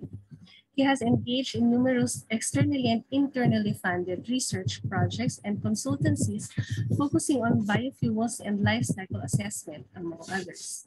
He also has published more than 60 refereed and over 100 non-referred journal articles in several book chapters and policy papers on ethanol and biodiesel production in the Philippines. Colleagues, we are very privileged to have with us today the former UPLB Vice Chancellor for Research and Extension for two terms from 2014 to 2020, Dr. Rex B. Denafilis. Good morning, sir. May we have a virtual applause from everyone. Thank you, Annie, for the kind introduction. I'll attempt to share my screen. Pag hindi, I requested Anjali, let me see. Okay. Sana. Okay. Slideshow na ba? Yes, sir. We can already see your screen. Thank you Bob. Okay. So, good morning, everyone. Uh, thank you very much for inviting me. Uh, it's an honor And uh, thank you, Maris, Vice Maris. Ganda ng presentation mo. Uh, tama-tama sa aking uh, presentation then You're looking inside, no? We, we got a lot of uh, tips and uh, learnings from Vice Maris where he um, uh, presented the inside story of going into projects and mentoring. So I'll be looking from the outside. Tama-tama, hindi kami nag-usap, but uh, I hopefully uh, I'll be able to inspire uh, our junior faculty. Uh, pareho din kami ni Maris na, na Japanese train. So I also, when I went back from Japan, although hindi natapos yung degree, I uh, also adopted the Gohai Senpai uh, relationship in developing my laboratory. So uh, mayroon kami mga similarities and hopefully I'll be able to complement yung presentation ni Vice Maris, which are very informative, uh, very detailed. No? So um, for for the um, committee, I I saw that uh, it's uh, there's an objective of helping the junior faculty. Uh, I I assume that uh, we're looking at the uh, uh, tenureship or permanency of the uh, junior um, faculty. Uh, of course, when you say permanentship, ang unang papasok sa isip mo ay, uh, or tenure ay publication, which we are required, no? Uh, alam niyo naman, sa UP, you're given uh, five years to have your MS. Pwede ma-extend for maximum of two years kung nasa thesis stage ka. When you have your MS, you'll be given uh, uh, a rank, although it's not automatic, nagiging uh, ordinary na lang sa pagbigay ng assistant professor. And once you're an assistant professor, you'll be given three years to publish and get your tenure. So I always equate, no, or the first thing that comes into my mind when you say tenure, it's publication. So I'll be sharing to you some of the efforts of uh, the um, Interdisciplinary Biofuel Research Study Center and uh, UPLB Interdisciplinary Life Cycle Assessment Laboratory, the people behind, and um, what transpired no, sa, so far up to this point in time. And one thing that I have learned, uh, uh, the proportionality is not equal. When you say if, if a staff publish one paper in a year, three staff could publish more than three papers in a year, no, looking at the papers, uh, aside from the projects that could be generated. So let me, uh, allow me to have this outline for my presentation how I started in research. Um, well, uh, when I was an assistant professor, parang ordinary na teacher lang. More on focusing on teaching, happy ka na. But there came a time that I have to decide, probably by uh, by an appointment that I could not reject and cannot uh, do away. Then let, let me share to you the potential areas of research for both interdisciplinary, I just call it biofuels, and ILCAL or, uh, or LCA, laboratory. Then research program, road mapping, and proposal making. Ito yung sinasabi kanina, maybe related sa sinasabi Dean Rose Ann, the guidelines. No? I'll, when we started our biofuels program way back in 2006, it made sure that we have research program and we made a roadmap up to the point that uh, we do feasibility study and policy uh, recommendation or uh, initiatives. Then uh, I'll, I'll breeze through the biofuels and LCA researches at the department. Uh, daanan lang natin. Then the second part of my presentation will be the stages of mentorship that I adopted. Basically, uh, the general guideline here was patterned from a Japanese experience where I created the senior, junior, like that, the three, no? uh, authority, three authority na pinakita ni Vice Chancellor Maris last uh, sa presentation niya. Then uh, I'll go into mentoring for establishing a career in UPLB and uh, ko lang ito. I, I think uh, it should have been muna yung general research mentorship at ILCAL and uh, um, biofuels. Okay, so um, um, it's 9.38. I have 30 minutes. How I started my research journey, it was way back in, in 2006 when um, UPLB anticipated the enactment of biofuels law, which was uh, nangyari in January 2007. So it was then Chancellor Ray Velasco was the head or the chancellor of UPLB. And he created nine niches and themes, and one of which is UPLB Alternative Energy Committee. The other one that survived is the climate change. The rest, hindi natuloy. So I, I uh, Chancellor Velasco called for an interdisciplinary team, uh, and we were uh, put in one room, and uh, he asked the whole team to decide who would chair. And uh, Dr. Uh, from the IPB, forget the name, uh, well, the most senior in the room pointed to me and he said, Rex, you lead. I was an assistant professor, I think, for I was too young. I, I, am not a graduate of UPLB. I, know, I don't know the people, the dynamics. Well, that time probably I have already taught uh, mahaba-haba na rin no, sa UPLB. But then I was not confident in knowing the whole campus and knowing all the people. But uh, being from uh, said by the senior and confirmed by the chancellor, I head the UPLB Alternative Energy Committee in 2006. Then um, in 2004, Chancellor Rex Cruz thought of creating interdisciplinary study centers. And one of the uh, centers that was created is the UPLB Interdisciplinary Biofuels Research Study Center, focusing on the strength of UPLB uh, to the uh, areas, the bio, biosystem. That means we have the agriculture, the forestry, and the rest of the uh, cluster, and the engineering and the College of Arts and Sciences. So we thought that I think we will have a good competitive edge and could contribute to the national development if we focus on biofuels. And again, I, I was appointed. Um, I think it all started March 4, 2014. And uh, I was appointed to chair uh, until now. Uh, this is uh, hosted by the Department of Chemical Engineering since then. And in 2017, um, the UPLB Interdisciplinary Life Cycle Assessment Laboratory was established October 20, 2017. It was because the biofuels or uh, bioethanol and biodiesel production was questioned on its sustainability. So uh, we thought of uh, coming up with a center that would start with assessing the sustain environmental, socio-economic sustainability of biofuels, and later on would expand to uh, other crops and other man manufacturing processes, but we uh, pivoted on biofuels in conducting life cycle assessment to prove and to show the sustainability uh, of uh, the production system. So uh, I still, still uh, I chair the um, ILCAL, we call it ILCAL. No? For short ngayon, we just call it biofuels and LCA.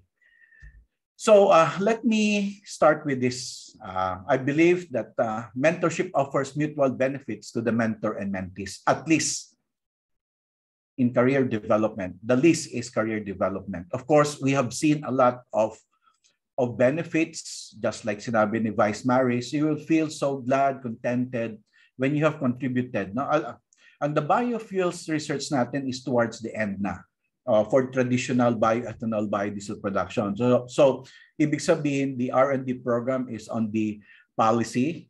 Uh, there are some remnants of feasibility studies that has to be updated and probably new ones with the new raw material feedstock. But basically, we are on the end, in, which is on policy development.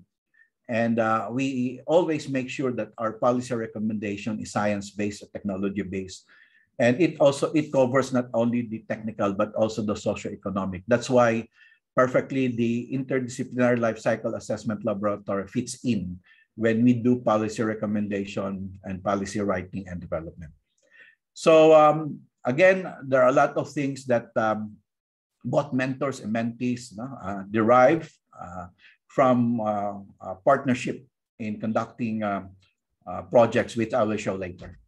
So let me um, start with the potential areas of research, just focusing on biofuels and LCA.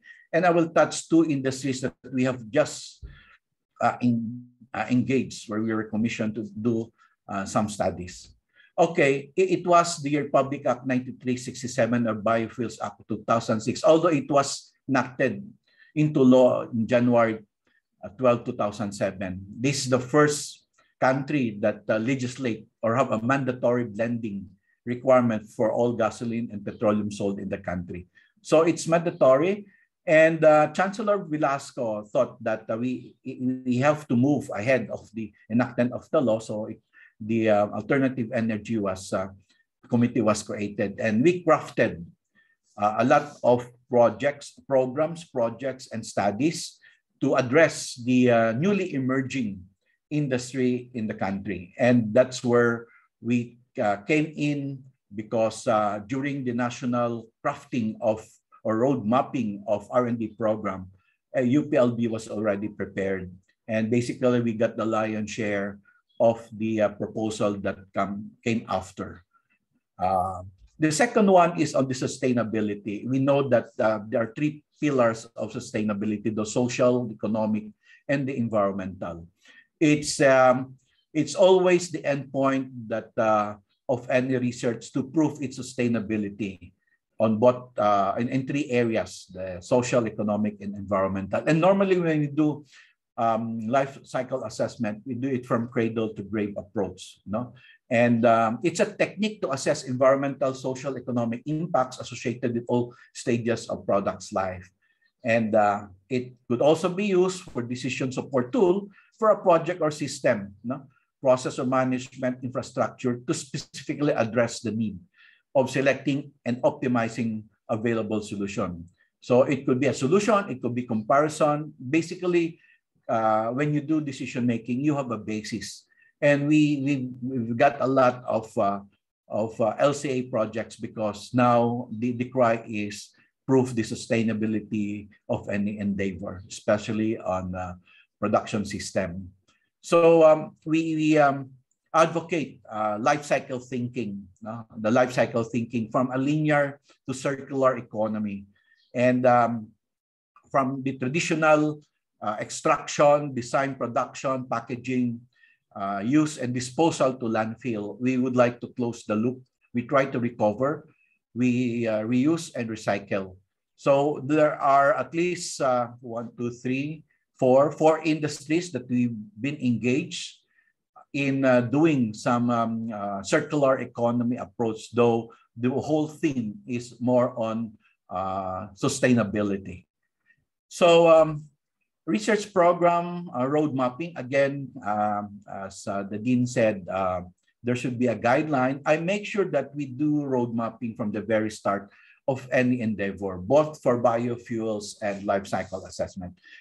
In this way, the, the staff um, and the um, support staff would, would know what is the direction and they could think of and could possibly contribute no, in the development of uh, the programs, the projects, or the studies. And um, they could look forward in the roadmap that there is uh, there are more things to do and they could develop their careers once they have internalized and digested the whole uh, road mapping uh, program. So uh, in, in uh, biofuels, for example, we started with the feedstock development.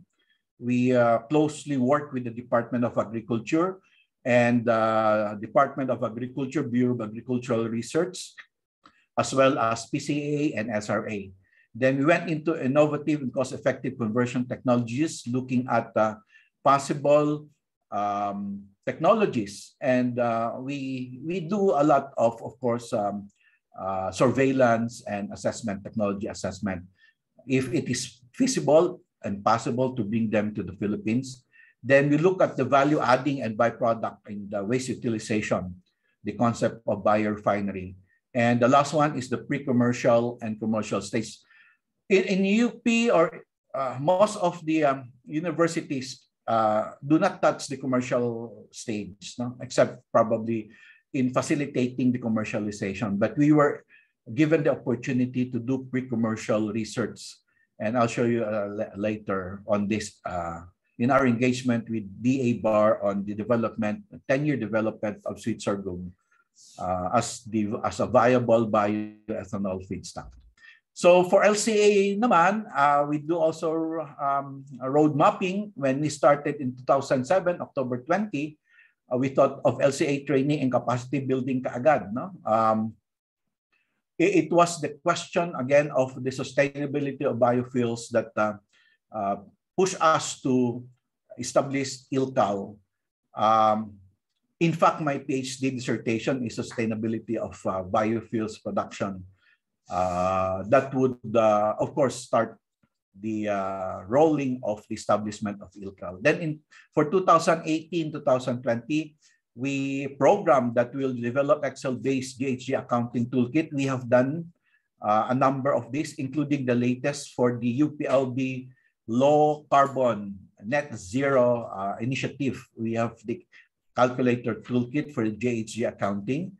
And um, uh, we have also came up with the local or Philippine GHG emission factors na hindi na tayo magde-depend sa international uh, and other countries' emission.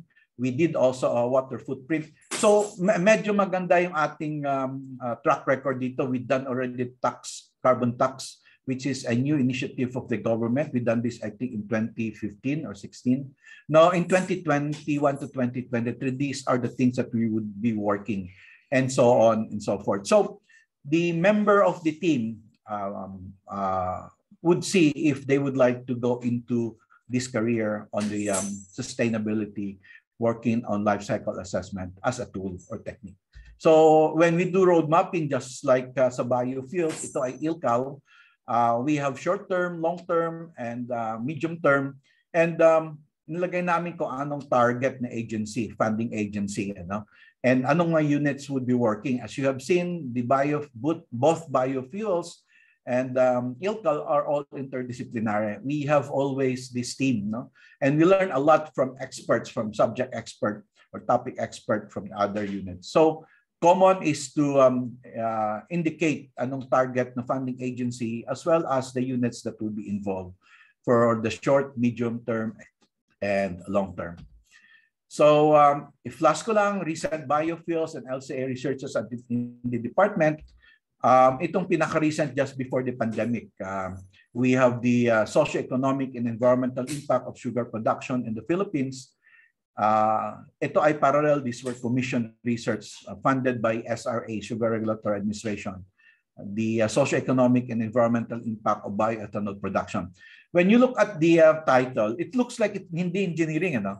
Uh, gaya sinabi ni Vice Maris, ano, uh, doon mo makikita sa loob. For example, when you do environmental impact, uh, you're, okay, let, let's focus on the uh, GHG emission or carbon footprint. Hindi ka makapag-compute ng carbon footprint if hindi ka magkakandak ng material balance and energy balances. And you cannot start the material and energy balances kung hindi mo pa na-kompleto or na-finalize ang process design. And all of this process design, material energy balance has to be validated from the data collected. Again, the data collection is very challenging work, okay? So we have also uh, one work on ethanol in the Philippines injecting octane into bioeconomy funded by US Grains Incorporated.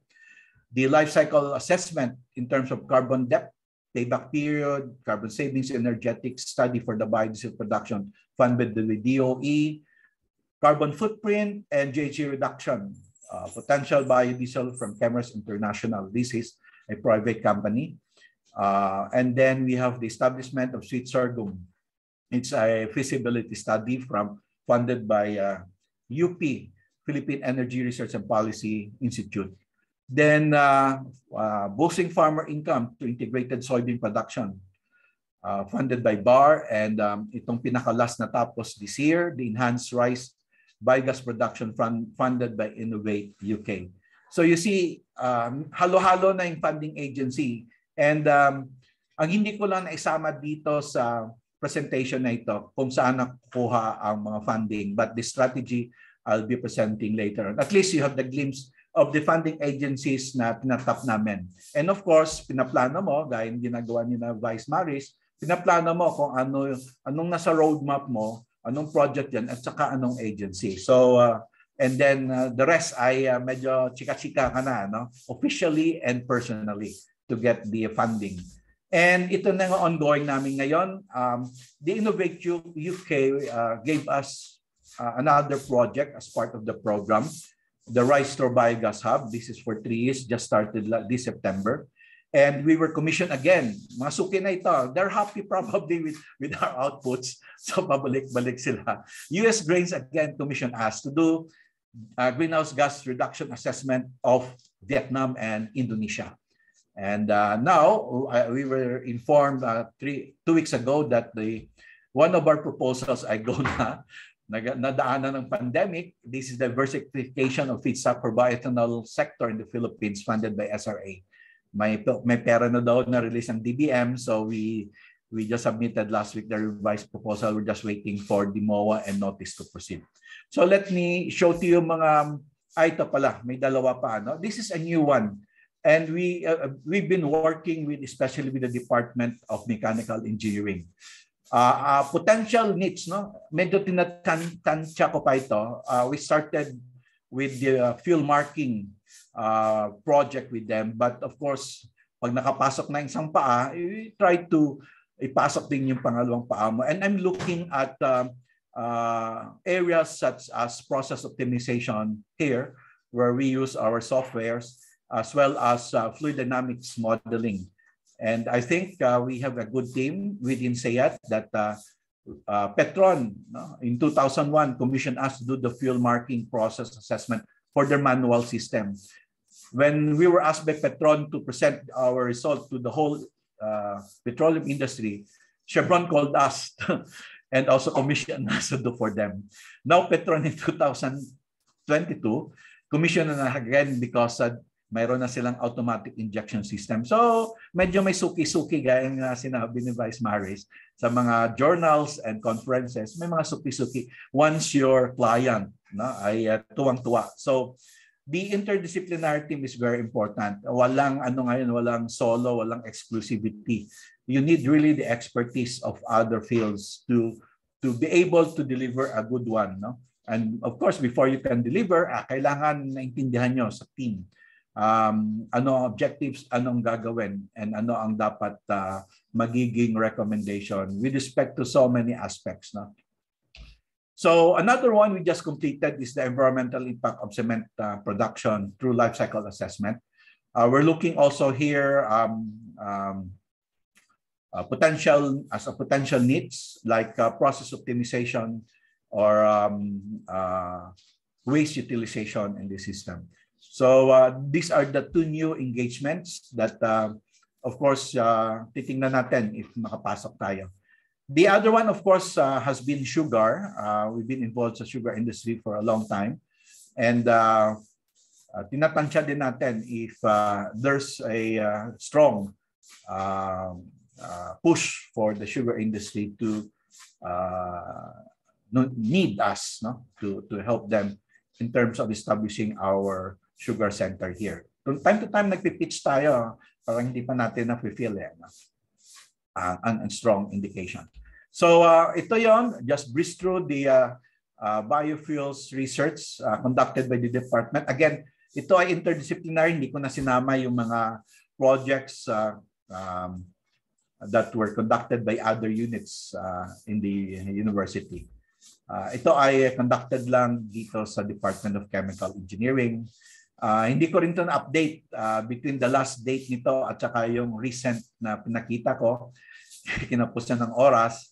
But um, very encouraging that you'll be given the opportunity, of course, to uh, work on certain government programs and um, uh, helping them in crafting the next R&D and uh, policy direction of the uh, of the respective agencies. So um, ito yung ating mga projects. Um, I think the last count we have the biofuels has already uh, conducted uh, projects amounting to 350 million. So uh, the lang update, but um, we, we have a lot actually because of the uh, uh, industry that is new, no, emerging. So dami silang kailangan. Um, and uh, we were able to deliver uh, funded by the different agencies in the country also outside the country. No? Madami silang binigay sa atin. I think um, the feasibility studies na ginawa namin, ang dami-dami na rin. Um, although we're working now for a, an updating uh, based on uh, last week's discussion sa bar, i-update namin some of the feasibility study that were conducted because uh, of the uh, high price of fuel, ang daming increase, daming increase kanya, daming increase dito sa LB. Um, discussion, briefing, on the uh, status and potential of biofuels, including petrochemical companies. No? So, uh, so uh, where do we get our research ideas? Ito yung mga kailangan natin bantayan. Ano? Again, hindi ko lang lagay dito kung saan mga pera, but research ideas from stakeholders, different stakeholders, through different channels. No? One of which are conference, but common is we talk to companies, we talk to um, uh, industry associations, to look at their problems and share to them what we can do. And to talk to um, funding agencies, especially the regulation, the regulatory agencies, kung anong need, anong research gap, ano ang policy gaps and policy um, development that they wanted us to study. The other source of new ideas or research ideas ay itong uh, conclusion from previous studies. Normally, we have recommendation and from there we push nanganak na nga po, yan, no? Nagkaroon ng series because at the end of the um, uh, project, you make um, recommendations and um, out of the conclusions. And from there, you use that as a basis to propose. And when the funding agency believe on your work, they would really continue the work was as we have experienced. The uh, uh, third major one is research trends and innovation. We look at the research trend and trends and innovation, just like when we have seen that the sustainability aspect of biofuels was questioned. So we work on life cycle assessment. But uh, we do a lot of um, technology assessment and uh, technology surveillance. Plus, ko lang, ano, we, we, we travel a lot, uh, funded by government to, to work on and visit the different universities, research institutes in um, different countries to look what's in and what's new, what's the uh, innovation, what uh, possible research agenda pwede dalhin sa Pilipinas. And uh, once you get funding agency from a government agency, normally nagpapadala din sila ng tao. And doon pa lang, nag-uusap na kayo ng tao nila kung anong sunod na project program na pagbalik sa Pilipinas, you propose and they support it. No? That's one of the techniques ang ginagamit ko. Um, basically, na-generate ang uh, new idea for technology surveillance as well as gumagawa kami ng global network networking. And in fact, in one of our visits, ito, ito, ito, uh, University of 20, dito yung headquarters ng Global Water Network where UPLB is the only uh, uh, agency uh, member of this global water network because we do water footprint. Uh, we just completed the water footprint for seven industrial crops, no? Uh, like um, sugarcane, uh, coconut, what else? Coffee, cacao, rubber, banana, pineapple. So we link to them and we learn from them. No, uh, they provided us material and we signed an MOU. Uh, also then sa Agrinium, I think they gave they gave us also scholarship dito. Uh, what else? Where else? We, we did a lot of traveling. No? Like for example, the pioneering work on carbon tax. We did this, and Quebec was has the best all over the world. No? in terms of carbon tax policy implementation. So um, we learn from them, we adopt what could be adopted as a research agenda. Ang kailangan dito kasi sa ano eh, you, you should have a good idea for your proposal, no? Uh, uh, ang biofuels ay uh, um, agriculture based. Pag sinabi agriculture based, well, uh, much of the cost of the biofuels ay nasa feedstock or raw material, probably at least 70% or more than 70%. So that's why we have to develop the whole spectrum, no? Uh, from the uh, feedstock development, plantation, nursery, etc., with the College of Agriculture, and we handle the uh, processing for the whole project um, coverage. So we have to study what's in and what's out, both on the agricultural and um, uh, processing, and lately, of course, on the sustainability.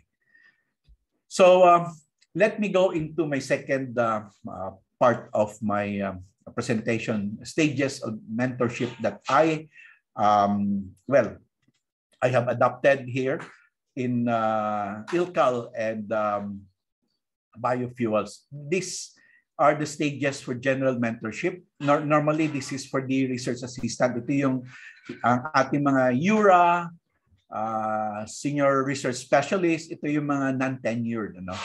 Uh, this general mentorship normally about two years. And um, ito naman ay hindi distinct itong four stages na may, may, may mga blurred overlapping dyan. But basically, um, it has been my policy that uh, after two years, once you have completed this uh, general mentorship program, uh, you, you are now industry ready. And uh, if you want to stay, uh, you should start your graduate program, start your master's. That was before. But ngayon, ano na eh, pag pumapasok, mamaya, magpapaalam na, sir, gusto ko na mag-aral, ano, mag-MS. So, kung minsan na uh, first engagement pa lang, mag-aaral. So, saglit lang, mag-adjust muna and see how your involvement with the project or projects and uh, calculate kung kaya. So, ngayon, wala ka ng problema no, in terms of uh, paaralin ng uh, masters if they want to stay further to look at the potential UPLD career or for the advanced graduate program nila. Up oh, program, this is program, sorry. So um, the as a start ng isang research assistant, normally we start with Jura 2. No? We don't start with Jura 1. We assign them to a specific project or projects. Kung sometimes meron tayong project na non-funded, like itong ating uh, UPLB low carbon and net zero initiative, uh, walang funding yan So nagmo-multitasking yung ibang RA to help the um, the uh, program na walang funding uh, that is for the university. Um, second, uh, after na-assign, unti-unti nag nag nagtumataas yung kanyang uh, responsibility. Uh, aside from handling specific project, ngayon ay uh, uh, kasama na yung financials. So matututo na siya ngayon, no? uh, sa pag-handle ng financials. Um, then, uh, ito na, once uh, na-experience na in handling a specific project and the financials, uh, ready na siya gumawa ng uh, writing proposals and writing project reports. Uh, normally, once nakahandle ng specific project, alam niya yung nitty-gritty. And um, alam niya yung uh, specific na isang project. So, um, equipped siya to write a uh, project report. And once you have experience, madali na gumawa ng proposal. Having a new idea, pinapadevelop namin yung uh, isang project or uh, program proposal.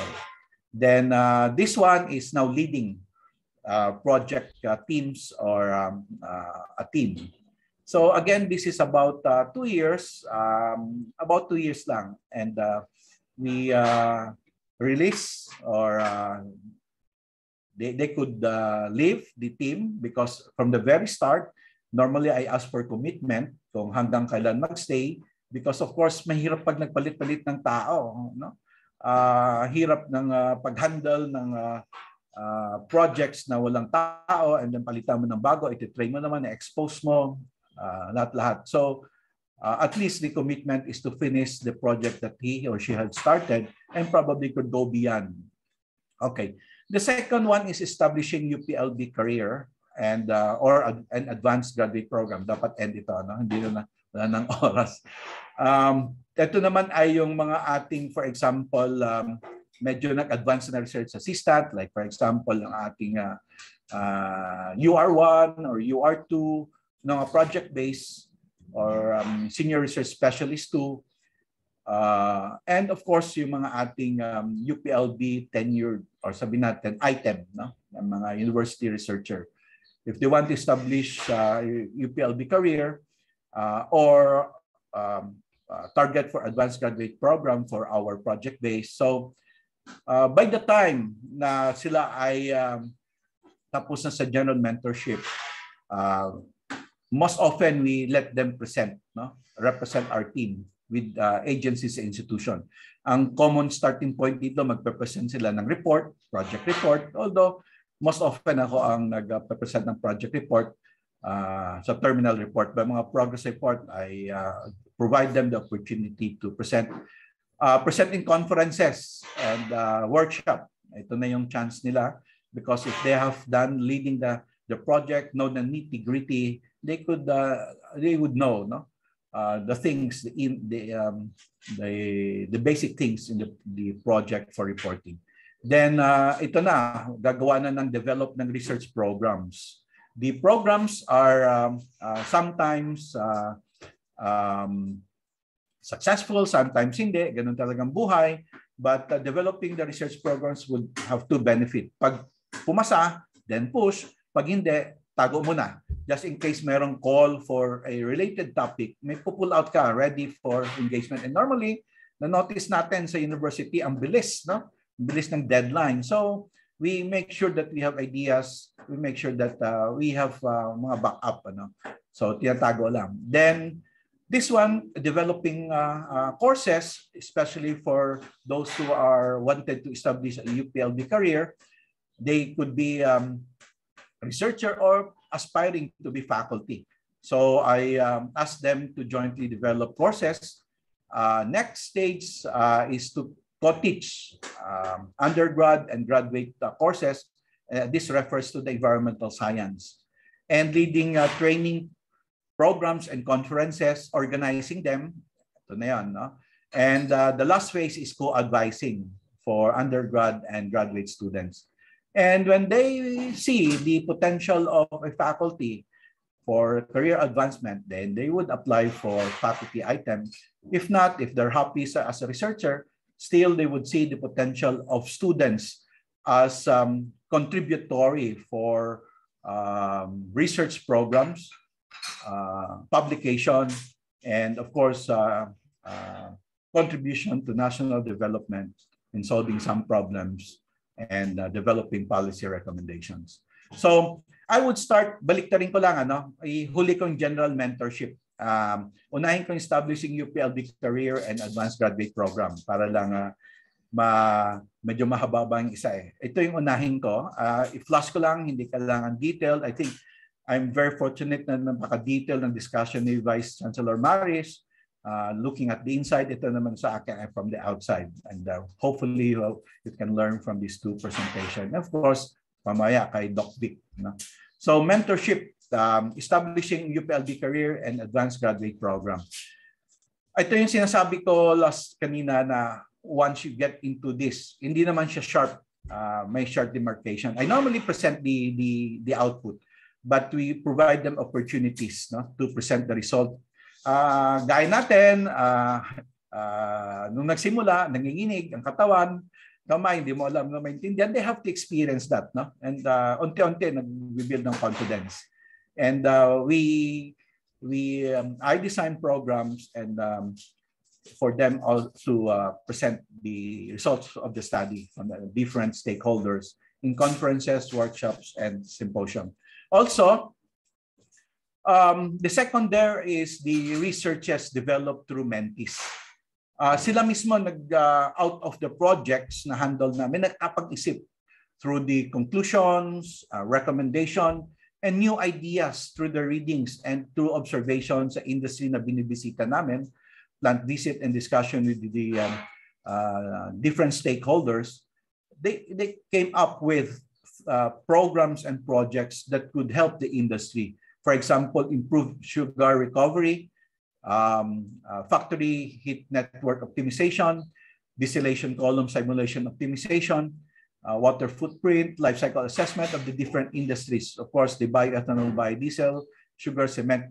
And nangyari yan. Ano? For example, itong um, uh, ginawa natin sa isang distillery where they retrofitted. We tried to optimize the uh, distillation to started with simulation and uh, applied to uh, the distilling column of one of the ethanol distilleries and um, showing the uh, great benefit out of this uh, uh, simulation. And another one is for this uh, sugar industry in terms of increasing the sugar recovery.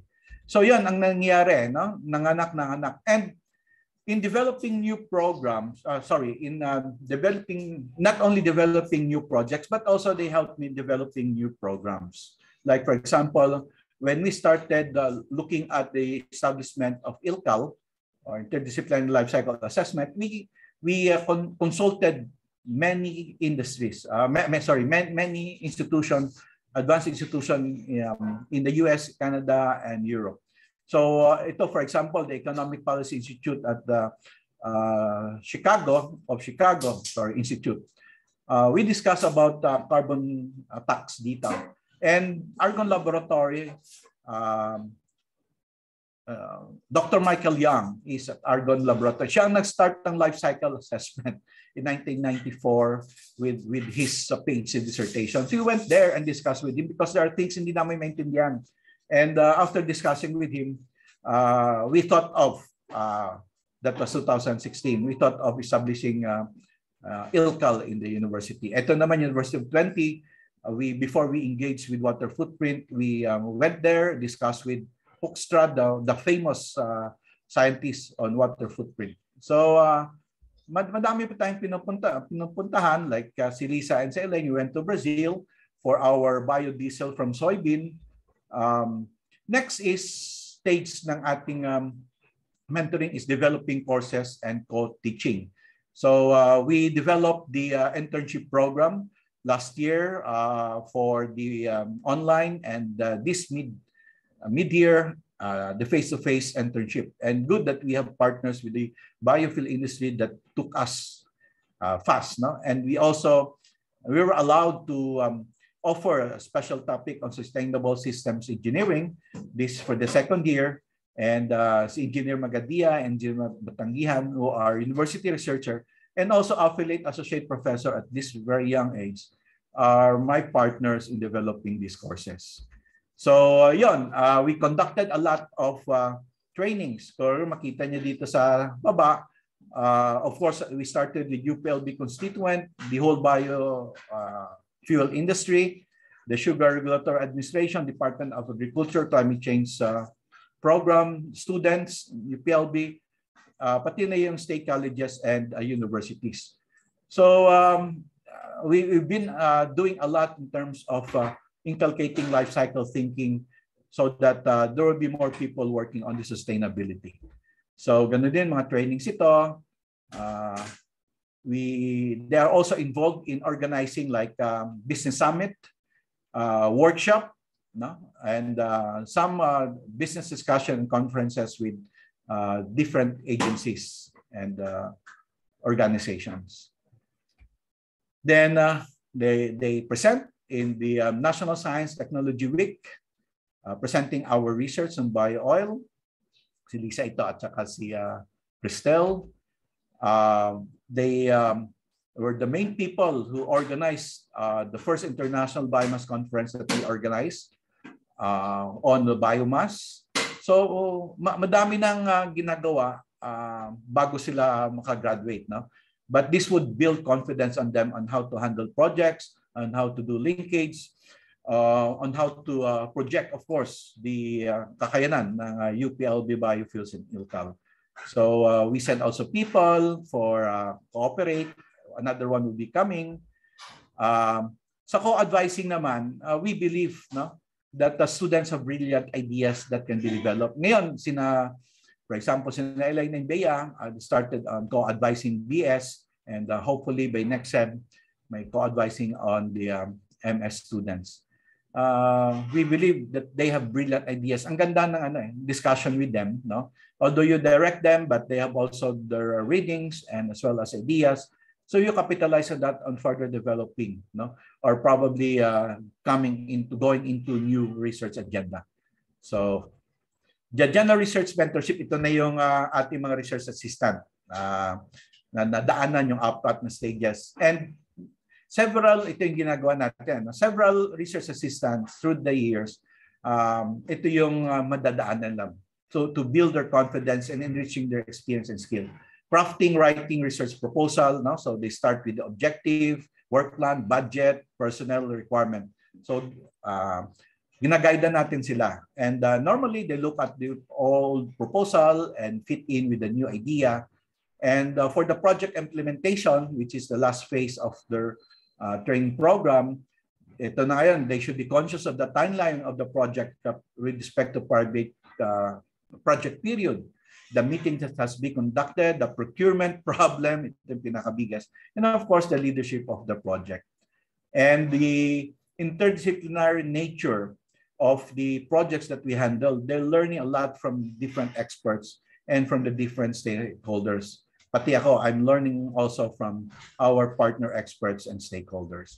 So after that, ang next stage nila, ito ng pinakamahihirap, the, the research method and data gathering from the laboratory to pilot, then you do plantation trials. Gaya sinabi ko, kasi agriculture-based ito, ang biofuels, you start from the plantation or nursery plantation, we do plantation and validation trials.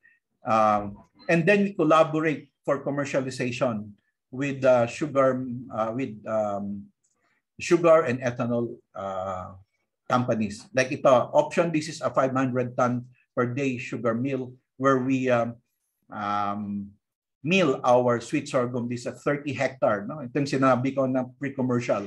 Nasanay tayo, even yung ating mga colleagues sa CA na karon ng 1, 2, 3 hectares, but this is a 30 hectare um, pre-commercial size which we were engaged. And we milled this to this uh, 50, 500 tons per day na sugar mill in Negros. And uh, the syrup that was produced was um, uh, handled by um, San Carlos Bioenergy, the second bioethanol plant in the country, having a 125,000 liters per day capacity. So we we do a lot of uh, working, no? And the the, um, the uh, mentees learn a lot. Uh, hindi lang on uh, peripheral things like sa plantation side, but also on the processes as well as linkages and talking to people, talking to the uh, different stakeholders of the industry. Also, we work with the ethanol, especially ito yung uh, nagiging um, malaking project natin. Uh-huh. Then uh, research methods uh, also includes uh, uh, data gathering through surveys and focus group discussion, key informant interviews.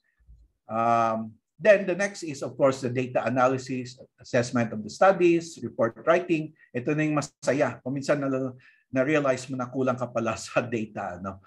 Uh, may meron data gaps. So it has to be well planned.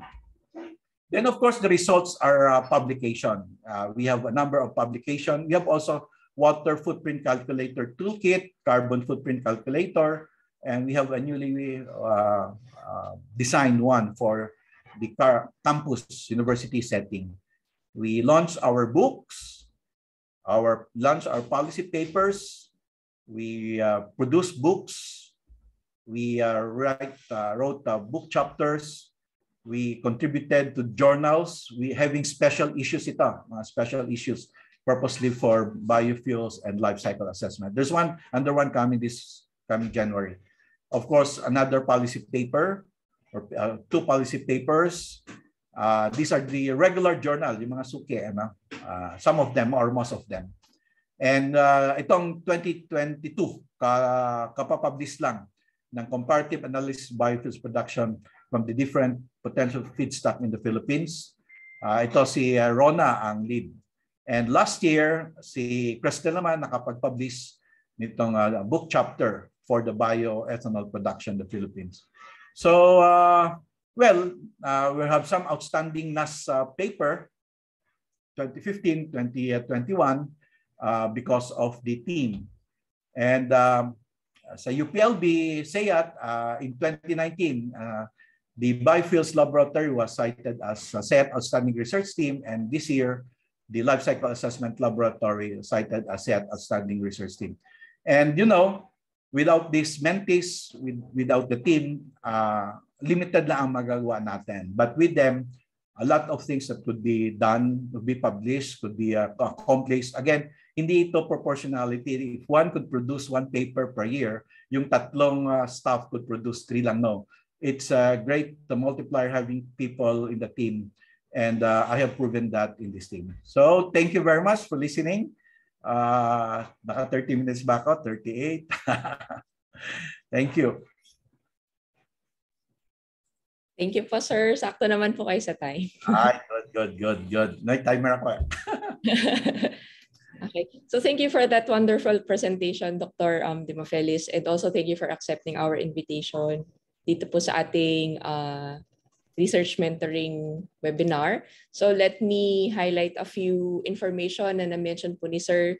So you, firstly po, the mutual benefits of, uh, for the mentor and mentees uh, pinaka-mahalaga po, I think, is yung career development ng mga mentees na dapat instill ng mga mentors. And uh, Dr. Demofelis also uh, was able to create or define yung roadmap ng project making and uh, yung mga yung importance na masatisfy our funding agency para po uh, they will again request for our service and this can provide yung continuous collaboration and continuous um, creation ng uh, project natin.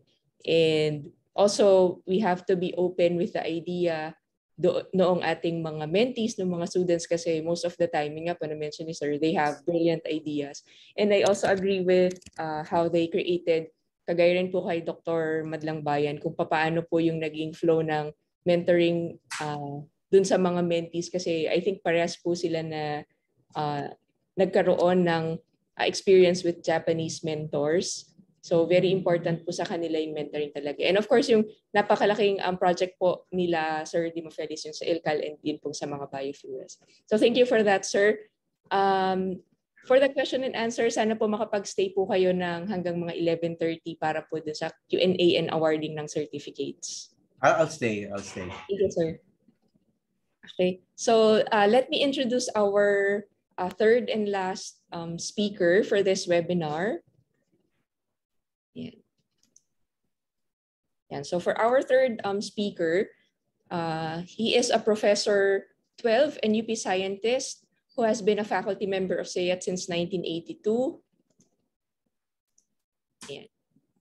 He is from the Land and Water Resources Engineering Division or laureate po of Ayabe, teaching a variety of courses and acting as advisor or co-advisor for various BS, MS, and PhD theses in different fields. He is well-versed as at such uh, as uh, advanced water resources planning, water management, groundwater hydrology, statistical hydrology, soil and water conservation, erosion and sediment transport, and water quality control engineering, and undergraduate um, courses such as hydrology, irrigation, and drainage engineering, water resources planning, open channel hydraulics, water control um, structures, water quality management, sanitary engineering, soil engineering, fluid mechanics, mathematical methods in engineering, and among others. Uh, he also pursued a double major in agricultural engineering and civil environmental engineering as his PhD at Iowa State University in 1999 as a Fulbright Scholar, where he worked on a one-year postdoctoral study on contaminant transport in soils at the same university. He obtained his master's degree in irrigation engineering at the Catholic University of Leuven in, uh, in Belgium in 1986 under the Belgian government scholarship. And his undergrad or BS degree is agricultural engineering here at UPLB in 1982. He took the 1982 Agricultural Engineering Board exam and he placed um, second doon po sa top. He was also taken part in he has also taken part in various research projects and has co-authored and has authored or co-authored more than 50 peer-reviewed uh, journal articles. Dami po ano. Monographs and book chap uh, chapters on various fields of research. He has recently completed his Ched Picari a project on the development of wireless sensor network-based um, water information system for efficient irrigation water management in the Philippines in collaboration with UC Berkeley. He has also served in different capacities such as section editor, associate editor, editorial board member in different national and international journals, and is in, also involved in different committee and extension works, as well as plenary keynote, keynote and resource speaker, speaker or coordinator in numerous international and national conferences and other related trainings. He is also a consultant in some irrigation, hydrology, and water resources projects under DA, NEDA, uh, FAO, UNDP, USAID, and World Bank. Recently served as team leader in water resources develop team leader and water resources development planning specialist in the formulation of the National Irrigation Master Plan. Uh, for the duration of 2020 to 2023 for the Philippines. He has been a, recip a recipient of uh, numerous awards and distinctions, uh, including, let me highlight a few, UP Scientific Productivity Award uh, with conferment as UP Scientist 3 from 2021 to 2023. Okay, SAYAT Outstanding Senior Faculty, uh, SAYAT Distinguished Alumnus Award, uh, AI ECHED uh, Best Teacher Award, and among others. So let us uh, all welcome to our Zoom stage for our former, the former chair of the Land and Water Resources Engineering Division of AYABE and our former dean, okay, Dr. Victor B. Elia.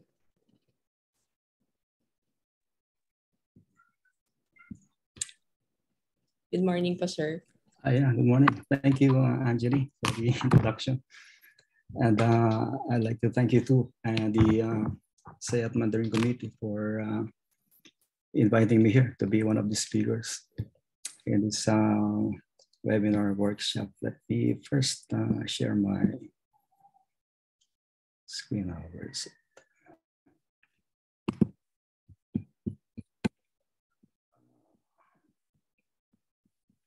Start.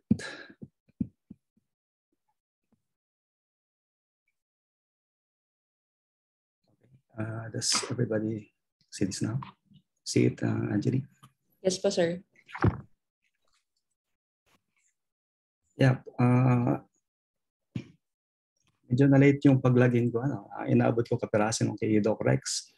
And I'm glad that uh, he focused on uh, some tips on the uh, research project development because my focus is uh, rather different.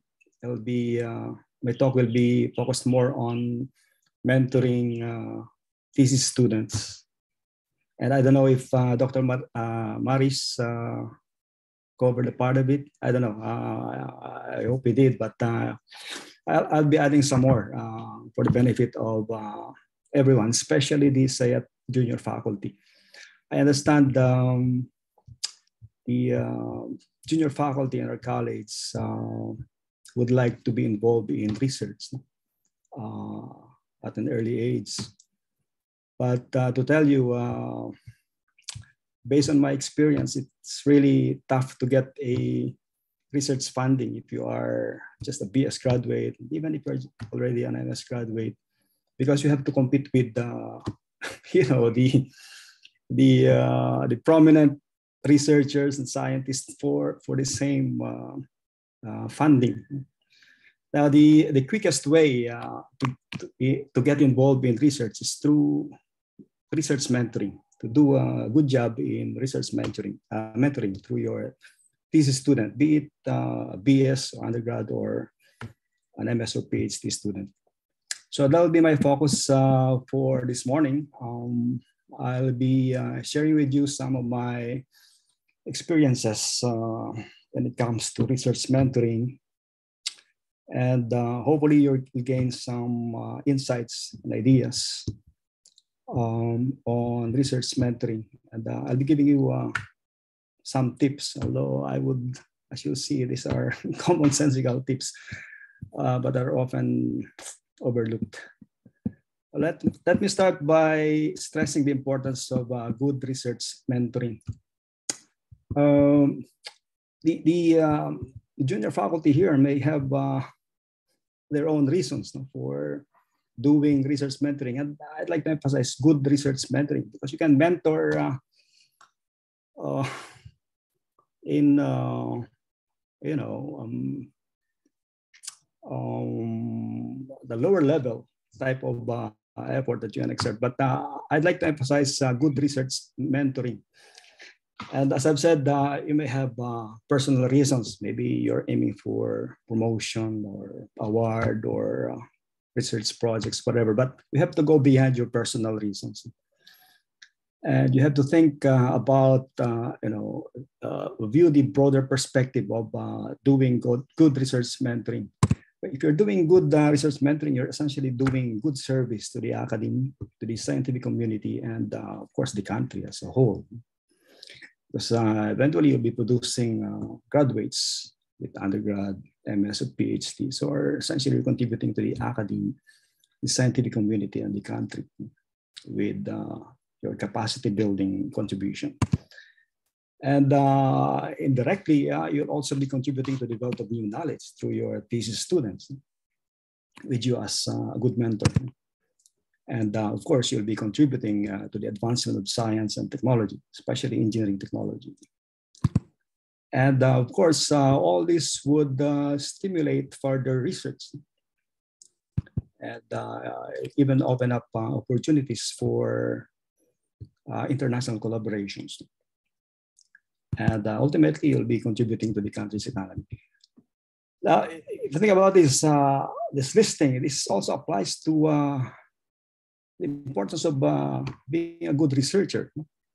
And uh, it also applies even to, you know, importance of publishing your research uh, outputs. You'll be uh, contributing to all of this if you do all those things, to being uh, a good researcher, a good research mentor, and uh, if you're able to publish your research results. Now, before I go any further, I'd like you to realize, especially the, the junior faculty how lucky you are uh, in your generation. Because if you compare it, compare your generation with ours. No? My generation was uh, my, uh, you know, I graduated here for my BS uh, in 1982, uh, and as introduced, I did my MS in the mid 80s. Uh, so I would say my early career life, when I was your age, the junior faculty here was in the 80s and 90s. And yours, I would say you started in the 2000s no? uh, until now, maybe 2010 onwards. But in any case, uh, you should be lucky that you already have all the modern technologies. No? You have the high-powered laptops, desktop, and all the, useful softwares uh, installed uh, in them at your disposal. You have the Digicom, smartphones, uh, and you have the internet. In, in our generation, what do we have? we have typewriters and at best, we have the DOS-based computers in the late 80s.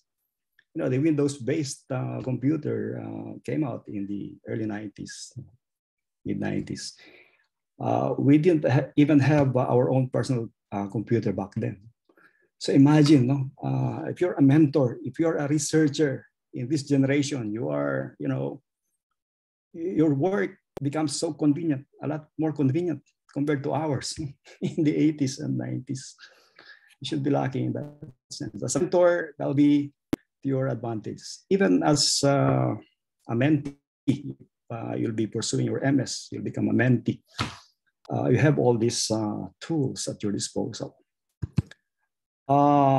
Uh, aside from that, uh, in the old days, we have we only have this library, and even then, we we in our library we only have a few journal subscriptions. So imagine uh, doing review literature back then, uh, how it is to do such a thing. Like uh, these days, uh, we have the online library sources and uh, online search engines. So as a mentor and a mentee, uh, and as a researcher, you have a big advantage in your generation. Uh, this another thing. In our um, BS programs back in the 70s and the 80s when I graduated, we, we, we had a generalized program uh, like in ag engineering. We didn't have uh, the thesis option yet. We developed the thesis option uh, uh, program for the undergraduate engineering courses at SAIAT in the 80s. I was even involved in the curricular revisions back then.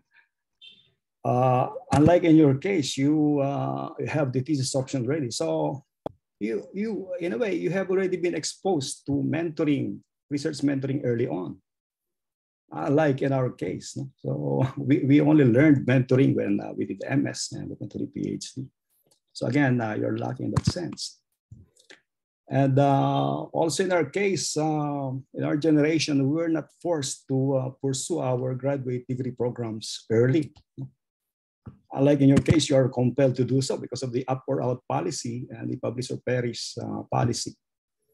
And you can earn your PhD, PhD at an early age and uh, be exposed to higher level research mentoring early in my case, I did my PhD uh, in 95. I was already 35 back then. I did double major and I finished it in four years' time. Uh, I was 39 when I graduated, and uh, then I did one more year for postdoc. I came back here, was already, I was already uh, uh, 40, 40 years old. So uh, that's the only time I started doing high level mentoring. I imagine. So we, essentially we started at the same time, you know, 2000 onwards. That's the start of my research mentoring experience. Before that, uh, I was just advising practicum students. It's you know it's different compared to uh, advising thesis students. And back then we have uh, very uh, you know scarce opportunities for scholarships and fellowships. Unlike this stage, there are overflowing scholarships, fellowships. ERDT is just one of them. You have uh, a lot more than that. And uh, you also have overflowing research funding opportunities. Unlike in our case, you know, when I finished my MS, my thesis was on modeling. I was trying to submit a proposal on modeling. And the funding agencies, what is that? What is modeling? It's not in their vocabulary. It's not in their priority. So how, how can you get funded if uh, that is the case? They, they prioritize those that uh, have uh, direct impact, impact, so to speak. You know, they have a different definition of impact. But these days, uh, it's different. You have overflowing. Even uh, newly graduated uh, PhD like you, you know, there's some of you here, can easily get uh, funding uh, from big uh, research funding agencies. And then back in the 80s, we embarked more not on research but on training and consultancy. And we virtually had no idea what our senior counterparts were doing in terms of research and publications. And publications was not even in our vocabulary. What is that? In the old days, if you're an engineer, uh, you are essentially more glorified if you are taken or working as part-time consultant, not as a researcher. But, but these days that has been, uh, you know, changed. And uh, also, you know, what we, the seniors, uh, have been doing in terms of research and publications with, uh, you know, information aids. Can easily check our Google Scholar through other means, websites, even social media. You, you know what we're doing. Uh, in the old days, uh, you know, have no means of knowing what they were doing. And then um, uh, in the old days, we only had a few to uh, to uh, look up to as role models, and uh, nobody gave us tips on how to do research metric. We had to learn it ourselves. In your case, uh, you have a lot of role models to to emulate, uh, not only within SAIAT but uh, outside of our college. And you have younger ones, you don't even have to uh, take us. Uh, me and uh, Doc Rex and Doc Maris as role models. You can take uh, younger ones like uh, Doc Monet. Imagine, uh, she's the youngest uh, say at faculty who became a UP scientist. You can emulate what she did. No? So there are a lot of advantages that you have in your generation, which are instrumental in becoming a good research mentor. No? So realize how lucky you are. Okay. now, let me share with you some of my experiences as a research mentor, and uh, eventually you gain some some insights. If you're a research mentor, you will have to deal with uh, various types of mentees. There are those that are highly motivated, and there are those that are less motivated. You can you can sense that no? uh, in your dealings with your advices. There are those that are serious, and there are those that are happy-go-lucky. Sometimes you'll see them, you know, just traveling around. uh, those that are highly ambitious, and uh, there, there are those who would take the easy way out. Uh, I once had a student who wanted to do a, a thesis that looked like a five-year research project. Imagine that. It's highly ambitious, but eventually we toned it down to tone it down to uh, a doable uh, thesis. And then um, there are those who can uh, do independent work with uh, minimum supervision, uh, but there are those who uh, need a lot of supervision, you know.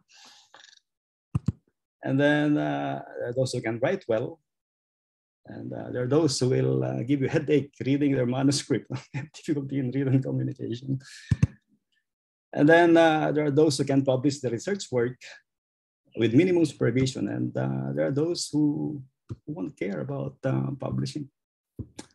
Um, to date, I have uh, produced about 30 MS and PhD, 10 PhD and 20 MS. Uh, of all those uh, graduates, uh, only half of them were able to publish. The others don't care about publishing, or uh, maybe they're having difficulty. But uh, it's not yet done. I am trying my best to, you know, get them uh, get their work published. Some of them. So the point is, there's no one size fits all strategy to handle various types. You just have to be creative. You have to find your way through. Okay because you have to deal with different types. There's no one size fits all strategy. You have to be, kumbaga, if you know how to play a musical instrument, we magbibido ka. Hindi pwedeng talagang uh, may chat. Yeah, nice to see you too. Okay. all right. Uh, so yan ang point. And then uh, when I was invited by by Dr. Revilla, Angeli, sabi ko, ano pong bibigay kong tips dito? So I look back uh, to my essentially 20-year experience starting in 2000. 2000, uh, may nabigay sa akin isang MS advising. Uh, and then 2001, one MS and one PhD. So sabi ko, parang mga common sense. But, but uh, there, may isa pang ano pala to, slides. Let me finish this before I give you the tips. Other experiences, um, yeah, uh, I also learned that um, all of them, all mentees would need your guidance as a mentor. Even the, the best mentees that you will encounter. Okay, talagang hindi mo sila pwedeng pabayaan. You need their, uh, they will need your guidance. Okay, they will need you. Okay. And then uh, another uh, thing is that uh, hindi lahat yan makakagraduate. uh, this is a, a hard reality. Not all of them would be, would be able to graduate. Some uh, would eventually disappear. Uh, incidentally, I only had one PhD student who disappeared, but uh, I kept on trying to you know, uh, help her uh, graduate. But uh, there are circumstances beyond uh, anyone uh, anyone's control that simply would, you know, make it difficult for the, the student to graduate. And then uh, sabi ko na to, not all those who have graduated can publish. Some don't really care about publications, especially those that are not in the academy. Okay? They, they won't care. But those who are in the academy, uh, some of them would be able to publish, but the others uh, would need your help. Uh, so again, let me emphasize that uh, mentoring is, uh, you know, uh, requires mentoring requires a lot of creativity. It's essentially an art. There's no one uh, uh, strategy for for for all the times. Just like in teaching, when you are hard, imagine your faculty, when you are hard as a teacher, nobody taught you how to teach. You have to find your way through. Ganun din sa, sa mentoring. You have to find your way through. But uh, if you're exposed to good mentors when you do your PS, your MS, PhD, you're lucky. You can uh, you know, pick some of the good things that your good mentors uh, did to you. So, ito sabi ko, when I was invited by uh, Angelique, sabi, ano sabihin ko dito? Na tips na pwede niyong mapakinabangan. And I look back, sabi ko parang puro common sense naman ang in-apply ko. I just applied common sensical uh, techniques. But you know, oftentimes those common sensical techniques are often, often, oftentimes they are overlooked. Diba? So let me, let, let this serve as reminders. So, so ito lang ginawa ko. I did not I did not do anything special when it comes to research mentoring. I just uh, applied commonsensical uh, you know, techniques. And uh, here are some of them. Uh, number one, you have to always give your time and undivided attention to your mentees, especially during consultation and throughout their program. Okay, time talaga, time sa attention. When, when I was um, the chair and even the dean of SEAT, every time my mentee or advisee comes to me, talagang tatabi ko lahat ng gawain ko at harapin ko siya with my full undivided attention. Ganon ginagawa ko. I learned that from my PhD uh, mentor. I had three uh, major professors because I, I pursued that only triple major yan. Double lang yung binigay sa akin. Wala pa doon nabigyan ng Iowa State ng tatlo. So dalawa lang binigay. But I had three major advisors. One of them uh, was the chair of the Ag and Biosystems Engineering of, at Iowa State University. Every time, mama, chairman siya, ha? chairman ng ABE. Every time I consult, talagang kita ko, isa sa table doon sa corner niya. Eh. Pupunta kami doon, iiwan niya lahat ng trabaho. Yun na na-pick up ko sa kanya. No? So I, I did the same. Pagka may pumupunta, kahit walang appointment yan, talagang tatabi ko lahat ng gawain ko. Harapin ko siya. Time and attention. And uh, even after deanship, uh, I've been doing the same thing. And even now, imagine I'm on sabbatical. I did not give up. I did not give up mentoring. So pag sila nag-consult to email, messenger, whatever, andyan ako. Andyan ako parate. I respond quickly, promptly. Okay. Uh, kasi ganun yan. If you're a mentee, what do you what do you want from your uh, mentor? Di ba gusto mo bigyan ka ng oras sa attention? just give them, uh, give it to them, time and attention. Yun lang, simple. Ito, uh, be accessible, of course, approachable, and keep all communications lines open. Importante yan. You have to be connected at all times with your mentees. And use all channels of communication, email, SMS, messenger, Viber, whatever. The important thing is your mentee should be able to reach out to you if he or she has any problem, especially on her thesis work, his or her thesis work, uh, quickly or uh, conveniently without going to your office, especially during the pandemic. we were all taught how to, to use uh, these uh, online communication channels. So, kailangan gawin mo yan para talagang maganda yung mentoring. And of course, uh, hindi lahat eh pare-pareho. You have to be flexible with your approach. Okay? And uh, you have to allow for individual differences. Makikita niyo yan eh, kasi your, your advices will be taking some courses under you, di ba? So doon pa lang kita mo ng kakayahan ng advice mo eh. Anong kaya nitong gawin sa thesis niya? So, huwag mong i-impose yung napakahirap na topic o pag nagko-conceptualize, huwag mong i-tone down mo, ibagay mo sa kanyang kakayahan. Ano? So, be flexible. Kahit gusto mo mong pagawayan, di ba, may ongoing project ka, pero medyo mahirap sa kanya. So, kailangan i-tone down mo. Be, you allow for some uh, individual differences in terms of uh, capability. Ito, critical ito. No? Uh, sa research, uh, this is so critical. The, uh, the initial stage of the thesis uh, research implementation is the conceptualization of the topic. Okay?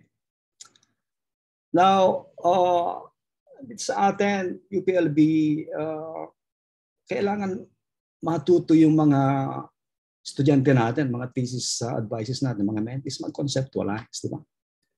Pero kadalasan, uh, in most cases, they, they find it very difficult to conceptualize. Diba? In my case, in most cases, talagang pumapasok ako dyan. Hindi makapag-conceptualize. Ita-try ko sa i-challenge. Sige, mag, anong gusto mong topic? Topic. Sige, let's select a topic and then conceptualize something. And then show to me. And then sabi ko, ah, hindi pwede yan. Gawin natin ganito, ganyan. So, kayong dalawa dyan ang magbubuo eh. You and the mentee. Huwag niyong pabayaan ang mentee niyo. Kadalasan, kung ano nung lalabas dyan. Na in the end, ah, hindi pa na pwede, hindi pa na publishable. Makita mo yan. No? So you have to, to guide your mentees in conceptualization of the research topic and make sure that it's doable and make sure it, it contains all the essential elements. Lahat na, nandun ang research problem, hypothesis, objectives, methodology, and even the review, review literature. Minsan, excited yung estudyante, ah, sir, gusto kong gawin ng ganito. Ayun pala na, parang nagawa na yun.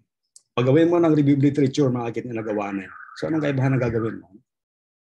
So ito critical yan. Kailangan talagang uh, active ang papel ng ano dyan. Uh, you have to play an active role in this stage of the research of your mentee. Um, ah, ito, uh, siyempre, uh, again, common sensical tip ito. Siyempre, andyan dapat ang all-out support mo sa mentees mo from the start to finish. Okay? Uh, yung support comes in so many different forms, di ba? Pwedeng may project ka, siyempre napakadali niyan. Ano? Can provide financial support, logistical support, equipment support, uh, access to your facilities, to your etc. Napakarami ano. Um, um, in my case, uh, kanina inabutan ko yung kay Doc Lex. Eh. Napakarami niyang project. Alam niyo kung sa mga project na ganyan, talagang napakarami yan si, si Doc Rex compared sa akin. Nagsimula ako sa maliit. Imagine when I came back here uh, for my, uh, after my PhD program, uh, wala akong makuha research funding noon. I even had to to bite the uh, the call for the UPLB basic research program. 150,000 pesos budget. But imagine I was able to support one MS student out of that. And then um, luckily may mga okay, may EDA bar ako, nakapag-subordinate ako ng ilang MS sa ilang BS thesis and then pumasok ko yung Sunrem and uh, consequently recently Picari and doon marami ako na suportahang mentees. So support of course uh, obviously would come in that form. Bigyan mo ng support sa to your project. Pero hindi lang yan ang support na pwede mo ibigay sa mentees mo. Moral support. Moral support. Importante, your mentee should feel that you are there for them. Support yan eh. Hindi mo sila pinapabayaan. Moral support is equally important as all those material support. And never give up on your mentees. No? Yung sinasabi ko kanina na isa kong PhD uh, na nawala na, I never gave up on her. Kahit na nawala siya, ako pa nagre-reach out. Eh. Imbes na siya nag-reach out sa akin, sir, paano ako makagraduate? Ako pa yung nagre-reach out because I didn't want to give up on her. Uh, especially your DT Kaya lang, uh, ang daming, ano, ano, uh, mahirap pagka mga gano'n na, na pagka-anak, namatay, gano'n. mahirap pagka gano'n na, ano. Tapos, nawala na lang, ang dami yung email. Uh, at sa email, be the last one to respond I checked all my previous emails. When I was doing this, sabi ko, meron ba akong kasalanan na hindi nag-respond? Binalikan ko lahat ng email ko. Sabi ko, I was the last one to respond to all the emails. At wala na akong narinig sa kanila. So that's the time sabi ko, baka talaga nag-give up na. Oh, let them give up, but you as mentors, never give up on your mentees. Okay? Wala, wala magagawa. Talagang ganon. Actually, tinondan ko na yung kanyang topic, eh, dissertation. Mahirap yung una eh. Kasi dessert, siyempre, when you conceptualize, babagay mo dun sa sa kanyang degree. No? Kung PhD yan, dapat higher level. Eh, siguro nagka-problema sa execution, implementation. Sabi ko, sige, let's work on something that I think you can do. Sabi yung ganon. So, tinoon down na namin. At ano kailangan mo, andyan na, okay. Doable na talaga eh. Angat pa rin sa MS, pero medyo binaba ko ng konti yung standards sa PhD. But even then, talagang, I don't know what happened. But kahit na ganon, don't give up on your mentees kahit ganon. No? So, stick to your mentees until completion. Kahit di ma-complete, sige lang. And then, you monitor the research progress of mentees. Maraming parang. You can ask them to present progress report, even uh, orally or in written form. Maraming parang. Para, eh, you know, kung walang ganyan, minsan yung mga happy-go-lucky, sabi yung mga types na gano'n, ah, hindi naman hanap si sir, ganyan. Hanapan mo na ganyan, mapiprocess ang gumawa, di ba? So, ano mo lang, ask for some progress report. And, uh, mapuporse yan eh, na gumawa. And then, ito, important ito kasi kahit napakarami mong research, okay? Kahit napakarami ng budget mo, kung hindi mo napapublish, kahit marami kang estudyante, these students, kung hindi mo napapublish yung research results, para ka rin hindi nag-research, di ba? Kasi you would know, siguro papasa sa committee yung research work, okay, yung output. Pero the real test of the validity, the soundness of the research results is through peer review, publication. Kasi iba na yan eh. Hindi mo kilala mga nag-review, mga expert. Eh, pag hindi pumasa yan, aba, there's something wrong with your with your with the research topic, the research itself. Hmm? Kaya critical yung conceptualization. Doon pa lang dapat inaayos na. And uh, by the way, uh, hindi naman siguro mag-overtime, Angela, no? kasi I'd like to insert uh, some expert uh, excerpts from uh, my presentation sa ERDT back in 2018. Uh, they invited me to present something on uh, helping mentors uh, in publishing their research work. So, doon para may mapulot pa kayo doon para sa inyo to. But again, yeah, another thing is that uh, you know, busy tayo faculty. Sabi, sabi mo, busy ko sa teaching, dami kong chechekan. Ano mga junior faculty, dinaanan ko yan. Imagine in the 80s, more than 12 units ako, mga napakarami, dadaan kayo talaga sa ganyan. Pero once maka-PhD kayo, mag-iba inyong, inyong trabaho. Eh. Balance yan. May teaching ka, may research. So sige lang, darating kayo sa, sa ganon.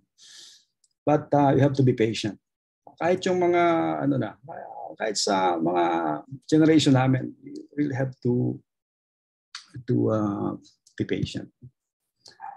So ito yung ano sinasabi ko uh, excerpts, uh, excerpts from my uh, previous talk on uh, research mentoring sa ERDT kasi nung time na yun parang tatlo lang kaming naandun. Kay dinilipan yung pang panahon yun. Somehow I think one of you from IE was also there.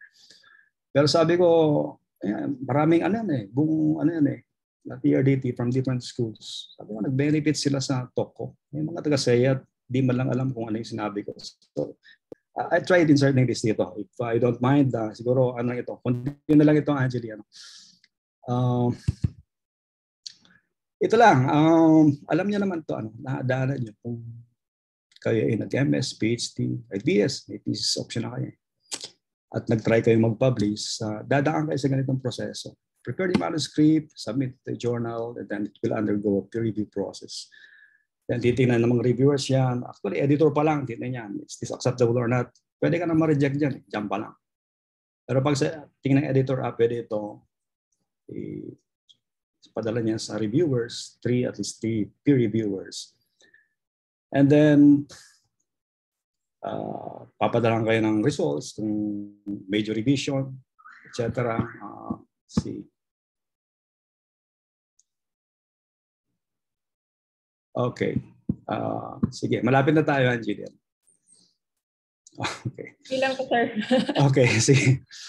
Sige. Uh, and then, uh, mag-revise kayo. You have to uh, address the comments and then you resubmit doon pwede ka ding ma-reject. Kung hindi maganda if you did not do a good job in the revision and in the in addressing the comments. Pwede kang pwede pa rin ma-reject yung paper. So you know publishing is not that easy. Hindi ko mo sabi ah, ang common notion na rin ko ah, wala kasing tayo magsulat. Hindi lang pagsulat yan eh. Ah marami siyang advice si Karamay Public no? Ah, kailangan talaga maayos yung ano yung publication mo. Okay siya. Ah, sige malapit na tayo So ano bang qualities ng magandang uh, manuscript? So let me share with you uh, my thoughts on what a good publishable manuscript should look like. First of all, it should offer original and new knowledge. Importante yan. Dapat talagang something new ang pinapagitan ng manuscript. Valid yung findings, scientifically, well-written, organized, appropriate title, effective content, well-defined objectives, up-to-date review literature, kasama din sa manuscript yan. And with appropriate, sound, and scientifically acceptable methodologies and research design, and with rigorous data analysis, okay? Presents uh, adequate and substantive results that meet the specified objectives. Uh, yung tables and figures well prepared, and uh, there's proper interpretation and discussion of results. And your conclusion should uh, be supported by data and analysis. And it should, the, the work, the whole uh, paper, publication should stimulate further research work. And of course, with acceptable length. Mga journals, dapat sa eh, limit ka lang sa 15, 20 pages. Eh, yung thesis manuscript mo, napakahaba niya. So, should be able to compress your thesis work into the acceptable uh, length. And of course, it uh, contain the, the basic components, right? The abstract, intro, okay, etc., hanggang conclusion, even uh, acknowledgements. So you see, uh, ito, you can also use this in the conceptualization of your uh, thesis work, di ba? Pwede maging guideline ito. You aim for publication, magbasa yan. Sa conceptualization pa lang, ayusin mo na. Make sure that you'll be able to get something like this, to produce something like this. Now, isang problema sa pag-publish yung pag-select ng journals. Selection of journals, one of the problems. If you're, uh, let's say, tayo. So, as much as possible, publish in engineering journals. Okay? Marami sa atin, publish kung saan-saan. Saan-saan. It's okay kung related naman doon. Pero as much as possible, uh, sa engineering journals tayo mag-publish. At hindi lang basta journal, uh, well, of course, you have to choose the, the journal that best fits the topic. And as much as possible, aim for uh, uh, Web of Science index, or at least a Scopus index, Web Science dating ISIN journals. Kasi mas ano to, visible to, mas masasite yung work niyo kung dito kayo mag-publish. Alay ko mga journal lang na walang wala sa database ng Clarivator. Pakita ko mamaya. Ito, uh, makita nyo kung Web of Science index yan to this website, Clarivator. You can actually just uh, search the, the actual title of the journal. It will show up if, if it is indexed in WS. Otherwise, ang dami na ngayon. Napakarami ngayong naglilitawan na journals. Unlike in our time, and even in the early 2000, kunti pa lang. Ngayon, napakarami na ng journal options. And uh, another tip, you can check the track record of the journal. Uh, frequency niya, yung promptness ng review. Imagine, uh, these days, uh, mga journal na in one month's time, ay tapos ang review. Ano? In the old days, imagine my first publication uh, for my PhD came out in 2001 back here in 2000. Dito ko na trinabaho yung publication. Uh, 2000, it took more than a year bago na-publish. Ang tagal ng review process noon. Uh, at yung journal na yan sa American Society of uh, Engineers, uh, taas ng rejection doon. Karang taas ng impact factor. Uh, i-check the track record. Ito, important ito. Ano, marami na ngayong journals. Kasama to, mga tinatawag na predatory journals and publishers, even conferences. Dami ganito. So beware, ha? Napakadali. Every now and then, dami kong nare-receive sa email. Oo. we're inviting you to publish so and so uh, sa journal na to. Checkin ko journal. Ah, predatory to. Ano bang ibig sabihin ng predatory? Those that exploit the gold open access uh, model, open access type journal ito eh. Pero napakamahal. Mahal ng bayad. Uh, talagang ano lang ito, money making. At isa pa, isang karakteristik nito, walang peer review talagang nangyayari. Parang napakasimpleng ano lang review. Uh, hindi mo masasabing, masasabing technical review. Ano? Predatory. Now, how would you know whether predator, predatory or hindi? You can use this website by pills. Nakita niya, type mo, napakarami. Ina-update to uh, regularly. So type niyo yung journal title and even the publisher, lalabas yan dyan, ano, kung predatory. At yung mga predatory na yan, remember, this is not these publications, this, the, the papers you, you're able to publish in these journals and even publishers are not honored sa International Publication Award. Even sa UP Scientist, hindi yan i-honor. Ha? Mga ganyan, predatory yan sa pang-publisher.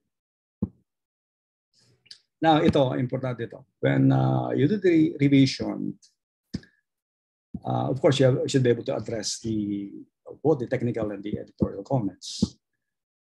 And you have to prepare uh, a summary of how you address the comments. Dito nagkakaproblema ang, ang, ang advising ako mentee. I remember one time, uh, meron akong isang mentee, PhD ha, from, your, from his public, uh, dissertation.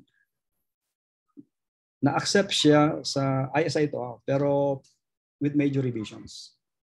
So as, para part ng training niya, kasi ako, first time I publish talaga ako lang trabaho niya. Gusto ko matutunan niya rin. Dapat ganun eh. Matutunan ng advice yung mag-address, mag-revise. So pinabayaan ko siya and then uh, sabi ko, pakita mo sa akin bago natin i-submit. Nang makita ko yung revision niya at saka the way he addressed the the comments, sabi ko, nako, mare-reject ito. so, doon papasok ang men- mentor. Okay? So, you know what I did? Talagang ako na nagsulat, no?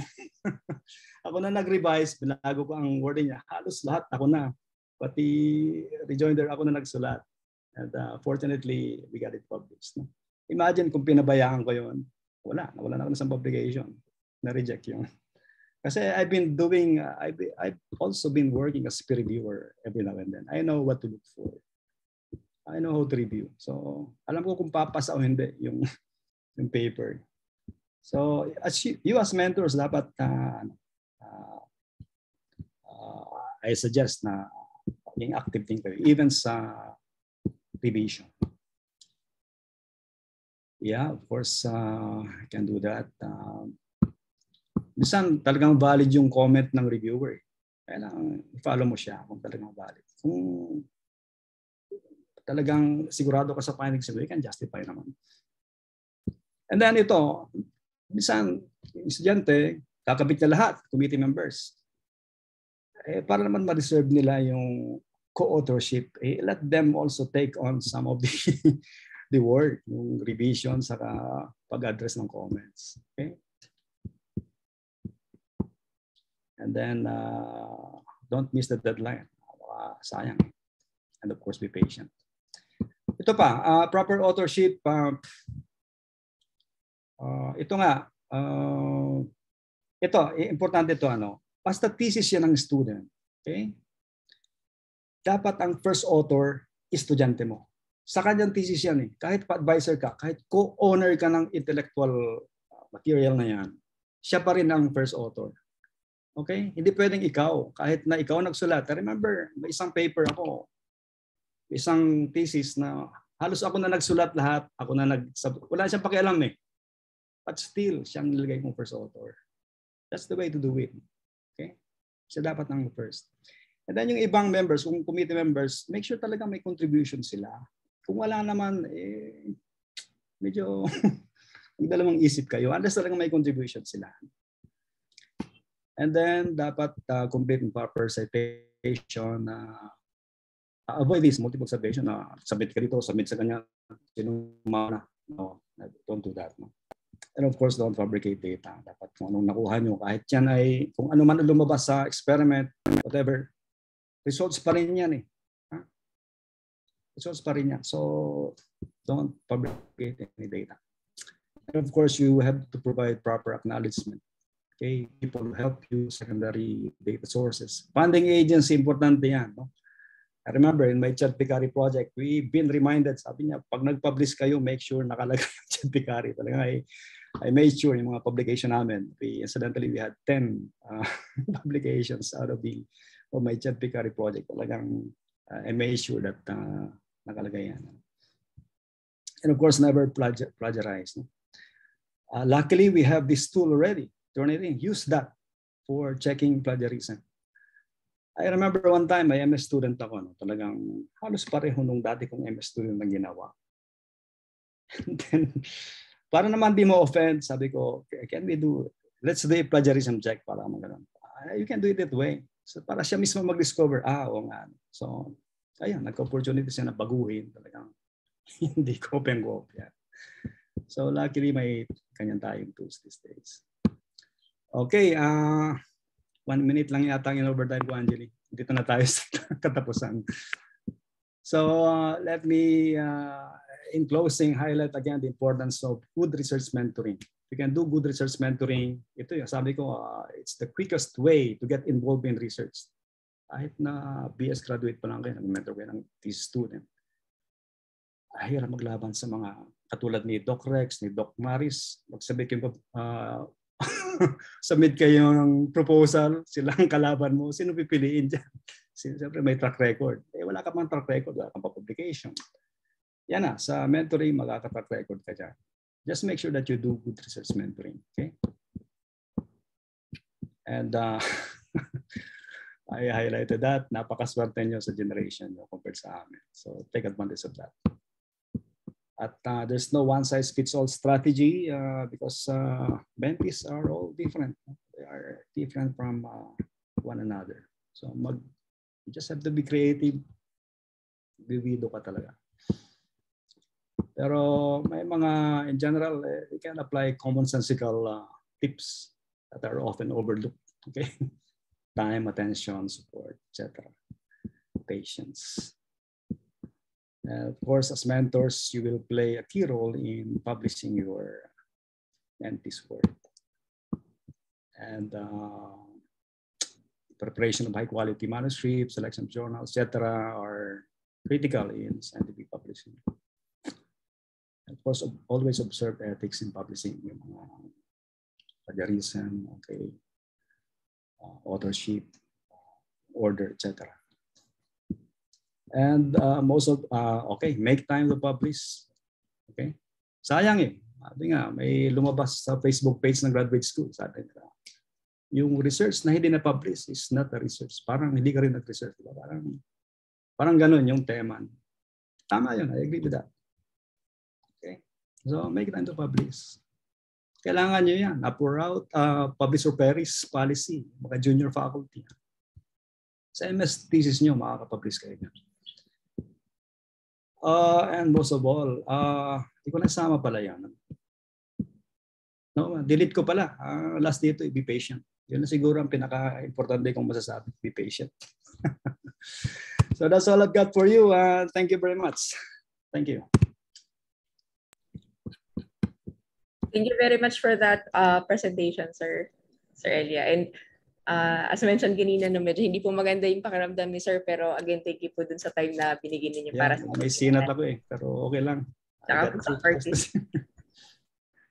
Sige. Sige. So what we have learned from the presentation of um, Dr. Elia, let me summarize a few. So first, uh, yung presentation po ni Sir focused on mentoring thesis students. So maganda po ito kasi yung mga previous presentations po natin from Dr. Dimafelis and Dr. Amadlang Bayan sa research naman po yung naging focus nila. So naging uh, malawak po yung talk natin ngayon uh, umaga. And uh, Dr. Elia also mentioned good research mentoring is uh, essentially, no, we go beyond our personal interest, not just uh, focusing on promotion and all, pero basically to give good service to our nation, to the profession, to our university, and to the country. And uh, doon po sa kanya mga experiences and insights, I think yung mga magandang na-mention ni Sir Don, uh, we will be encountering, well, I think as mentors, no, junior mentors, we will be encountering different types of mentees or advisees. And so there is really no a one-size-fits-all na strategy for mentoring. We have to adjust, we have to be flexible dun sa mga various types of mentees na pwede natin ma-encounter.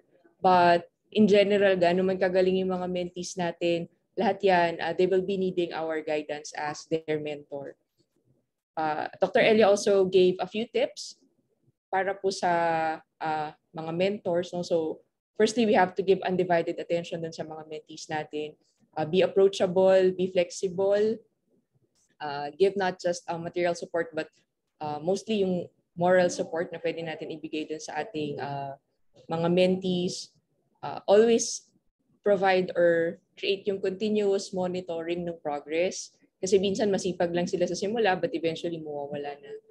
Uh, we also encourage them to publish kasi yun yung validation na maganda talaga yung naging result ng research natin. And yun nga, na-mention ni Sir, pinaka-last na advice is we always have to be patient dun sa mga mentees natin. So thank you for that presentation, um, Dr. Elia. So we, we now open the floor for the questions ng ating mga uh, participants or mga attendees po natin. If you have any, maglagay na lang po tayo sa group chat natin. Ayan, at ito na po si Manny. Yan. Pwede pong ilagay natin doon sa chat. Pero let me read yung first question na na-receive po namin kanina. Okay. So we have one question here from um, Dr. Pataksil. Yan. So we know that uh, we cannot always get a positive outcome in all projects. So para po ito sa lahat ng resource speakers natin, uh, pwedeng kahit po sino sa inyo yung sumagot. So again, we know that we cannot always get a positive outcome in all projects. Any words of wisdom on how uh, to build or, ha or on how uh, budding researchers or junior researchers can handle failures in research? Siguro po based sa mga naging experiences ninyo, sir, uh, ano po kaya yung mga naging strategies ninyo when you encountered failure dun sa mga early stages ng research ninyo?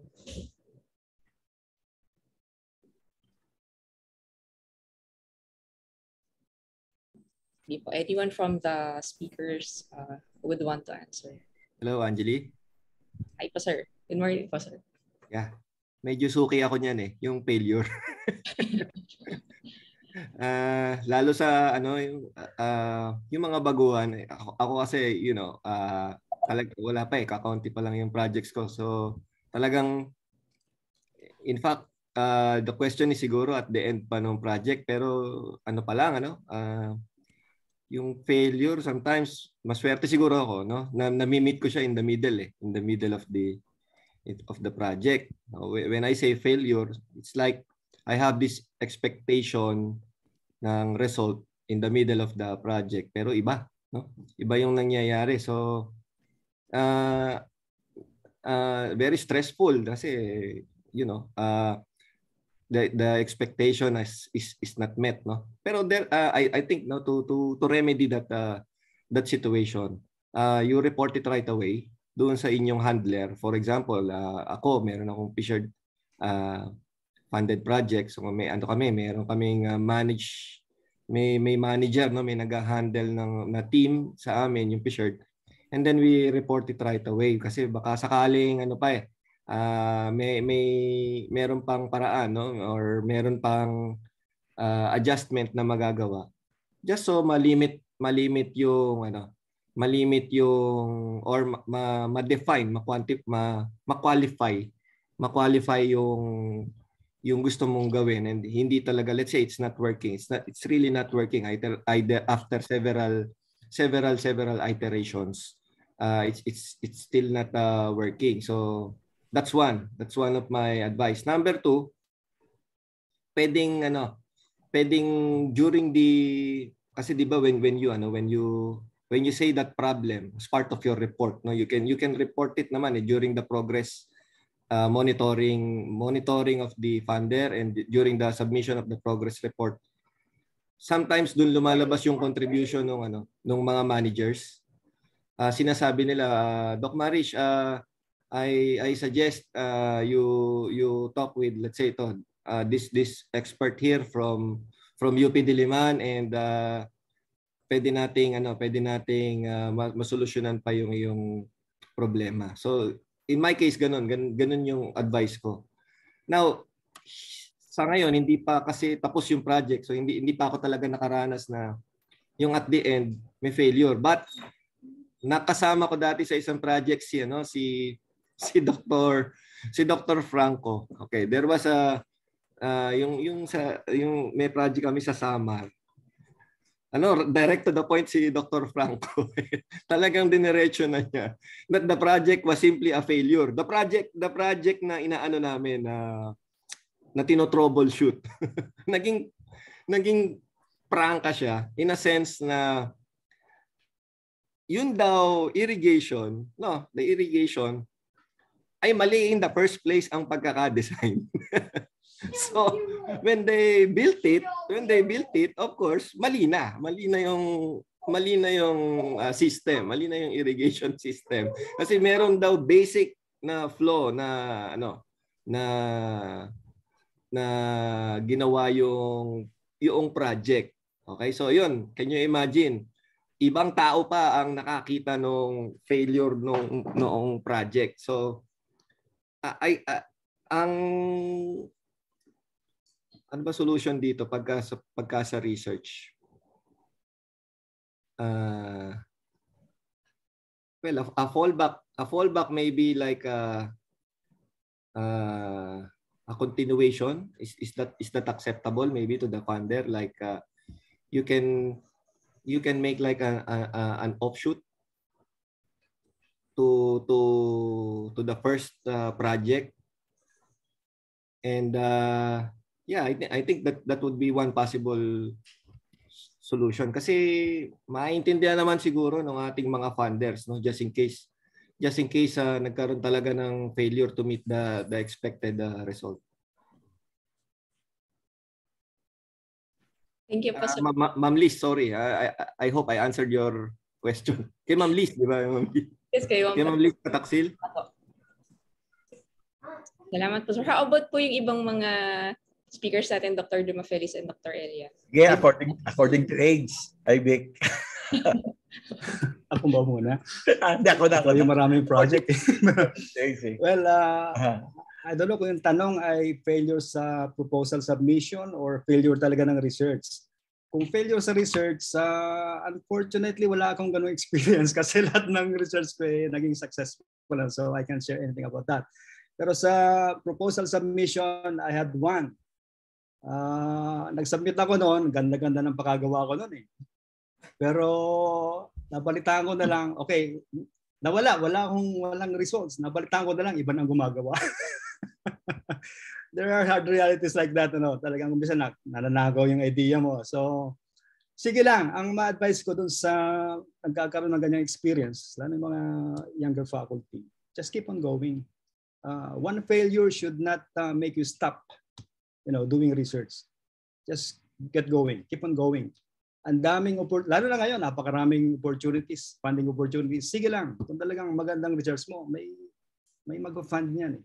So don't let it discourage you. Don't let it stop you. Uh, one failure, actually, that's how you learn uh, how to get up. Ano? Just get up and move on. And uh, try again. Ganun lang. Eventually, you'll succeed. So yun lang. And be patient again. okay. Doc Rex. Talaga, ano, no, may, Sige. Uh, may ano, effects ang failure talaga po. No? Siya, I'll, I'll share to you non-technical and technical uh, failures. The, the non-technical is impending failure. Uh, una, um, we, we're dealing with um, 11 ethanol distilleries and uh, 10 sugar mills. So almost dalawang dosena yung dalawang projects. Unang problem, hindi nag-respond lahat So, uh, first base pa lang sa communication for data gathering, ayaw mag, uh, wala, walang response. And second is, uh, ayaw mabigay ng data. And yung aming project ay kailangan ma, ma-confirm namin, ma-validate yung kanilang uh, production system or process. Then mag-conduct ng material and energy balances. Um, Naging malaking problema, siguro mga almost four months nagsimula kami, eh, wala kaming output. Biro mo yung kakabahan ka. Uh, outside yun nasa timeline mo. So, um, malaking tulong sa ano uh, mga kaibigan. Yung unang uh, uh, ginawa, uh, try to connect with their friends, no? Yung mga plant managers. So umobra naman, but not total. The other one is the funding agency mismo. And uh, they were able to complete yung uh, participation ng um, uh, almost two dozens na ethanol and sugar distilleries. However, pinapirma kami ng non-disclosure agreement. So sa lahat ay nakasign kami uh, for them to feel comfortable na hindi lalabas yung kanilang uh, process as well as yung assessment ng business viability. Yung technical naman, I, I have a uh, bio, uh, uh, biojet project sa DOST. Uh, ang naging problem namin ay for more than a year, yung aming reactor ay pinasapasa. Una, may nagbid. And kalagitnaan, inabandon kami. So, kinapos ng oras and uh, uh, finally, hinawakan ng uh, DOST ang publication. But ang nangyari doon, it was uh, downgraded. Instead na mag-produce ng uh, biojet, nag-produce kami ng bio oil as uh, base material. Okay naman sa kanila because of this situation. Yan tama yan. Sa, present lang sa monitoring team nila and uh, present yung case and the request for amendment doon sa uh, project output. So yan. I hope nakasagot ako kay Lisa. Thank you po to um, all our speakers. Um, meron pa po ba tayong pahabol na questions? Okay na po ba tayo? Ang dami natin natutunan today. Ano po? Parang ano, um, it's really scary when we are starting pa lang. Ako actually marami pa akong mga tanong na prior to this eh hindi ko alam paano i-address. But uh, thanks to our speakers, I had a lot of ano ba to, um, eureka moments. Tama ba yun? Ayun po. So, ayan, thank you po ulit sa speakers natin. Um, if there are no more questions, uh, we can proceed with the awarding already. Jane, pa-share screen na lang po. Ma'am Angie.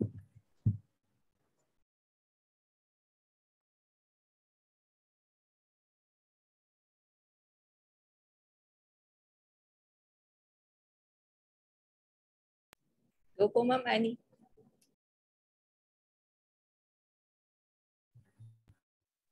Uh, as we award po, we'd like to invite the speakers to turn on their um, videos again so that we can take a picture of you together with your certificate. Isa-isa na lang po namin kayo um, sa spotlight ulit.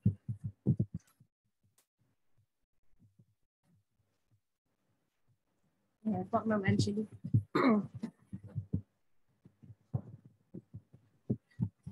Ako na po magbasa, ma'am. Yes, ma'am. I see po. So on behalf of the uh, SET Mentoring and Tenure Committee, so first, um, I would like to uh, give the certificate of appreciation to Dr. Marish S. Madlambayan for sharing his research and technical expertise in our webinar entitled Research Mentoring Strategies under the 2022 SEAT series, Future Proofing and Enabling Strategies for SEAT Stakeholders, held on uh, 25th of October uh, 2022 via Zoom. So this is signed by our Dean Rosana Marisi Amungo. Sir Marish, pa-smile po ulit na isang beses for the screenshot. Thank you. Ayan. Thank you, Ma'am Angeline.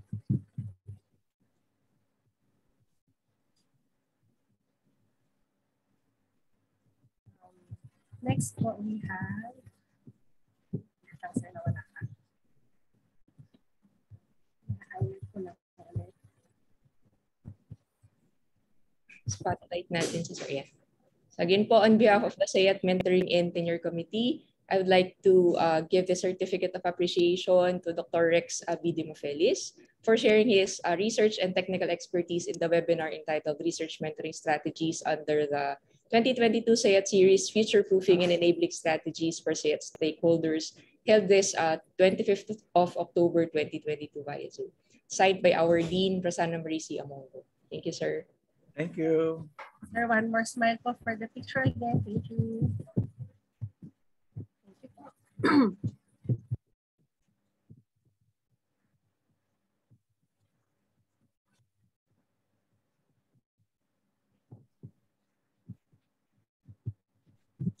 So for our um, third speaker po, again, on behalf of the Sayat Mentoring and Tenure Committee, I would like to give the certificate of appreciation to Dr. Victor B. Elia for sharing his uh, research and technical expertise in the webinar entitled Research Mentoring Strategies under the 2022 SAYAT series, uh, Future Proofing and Enabling Strategies for SAYAT Stakeholders, held this 25th of October 2022 via Zoom, signed by our Dean, Rosanna Marie Siamong. Thank you, sir. Thank you, sir. Okay. So thank you once again po sa speakers natin. We are really very happy and privileged and honored, deeply honored that you are here with us today. And um, thank you po ulit sa Tenureship and Mentoring Committee headed by our committee chair, Dr. Josefa Angeline Villarvilla. And um, thank you then po ulit to our colleagues who are here with us and who uh, took this time from their busy schedules to listen to the very insightful webinar we just had. And um, reminder po, yung ating webinar ay may evaluation. Link will be uh, flashing the screen later.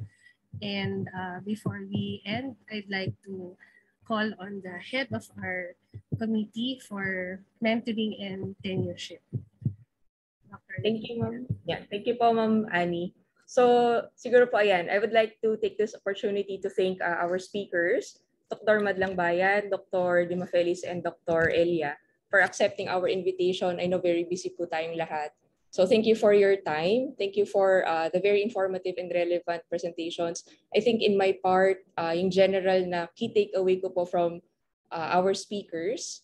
Uh, so we learn from our mentors as a mentee, not just uh, the knowledge needed for our thesis or dissertation. So hindi lang po yung mga concepts na regarding sa research natin. But most importantly, yung mga strategies and techniques now that we can use once we will be the ones to handle the uh, research na ipopropose po natin. And so we take advantage of the time na ibinibigay po sa atin ng mga mentors natin. And I hope lahat po tayo uh, marami rin natutunan sa webinar natin ngayon. Of course, I would also like to thank our Dean, Dean Amongo, Dean Rose Ann for the opening remarks and for her usual support sa mga committee activities. And I would also like to thank um, Ms. Jane para po dun sa generous uh, offering niya ng uh, tulong dito po sa technical management ng webinar.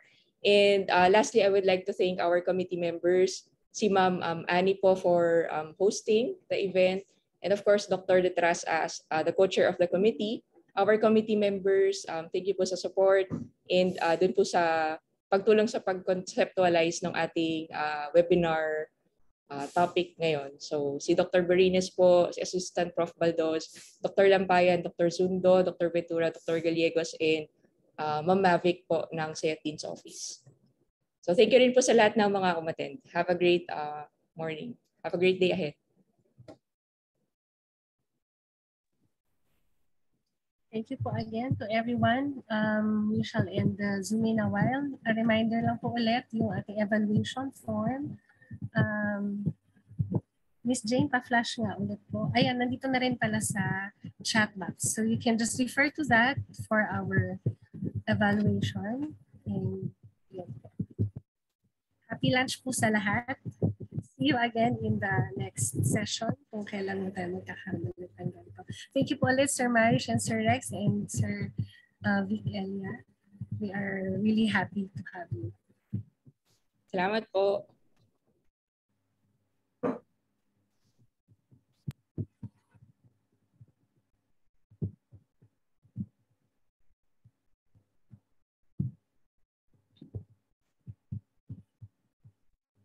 Um, they could do so. Thank you po.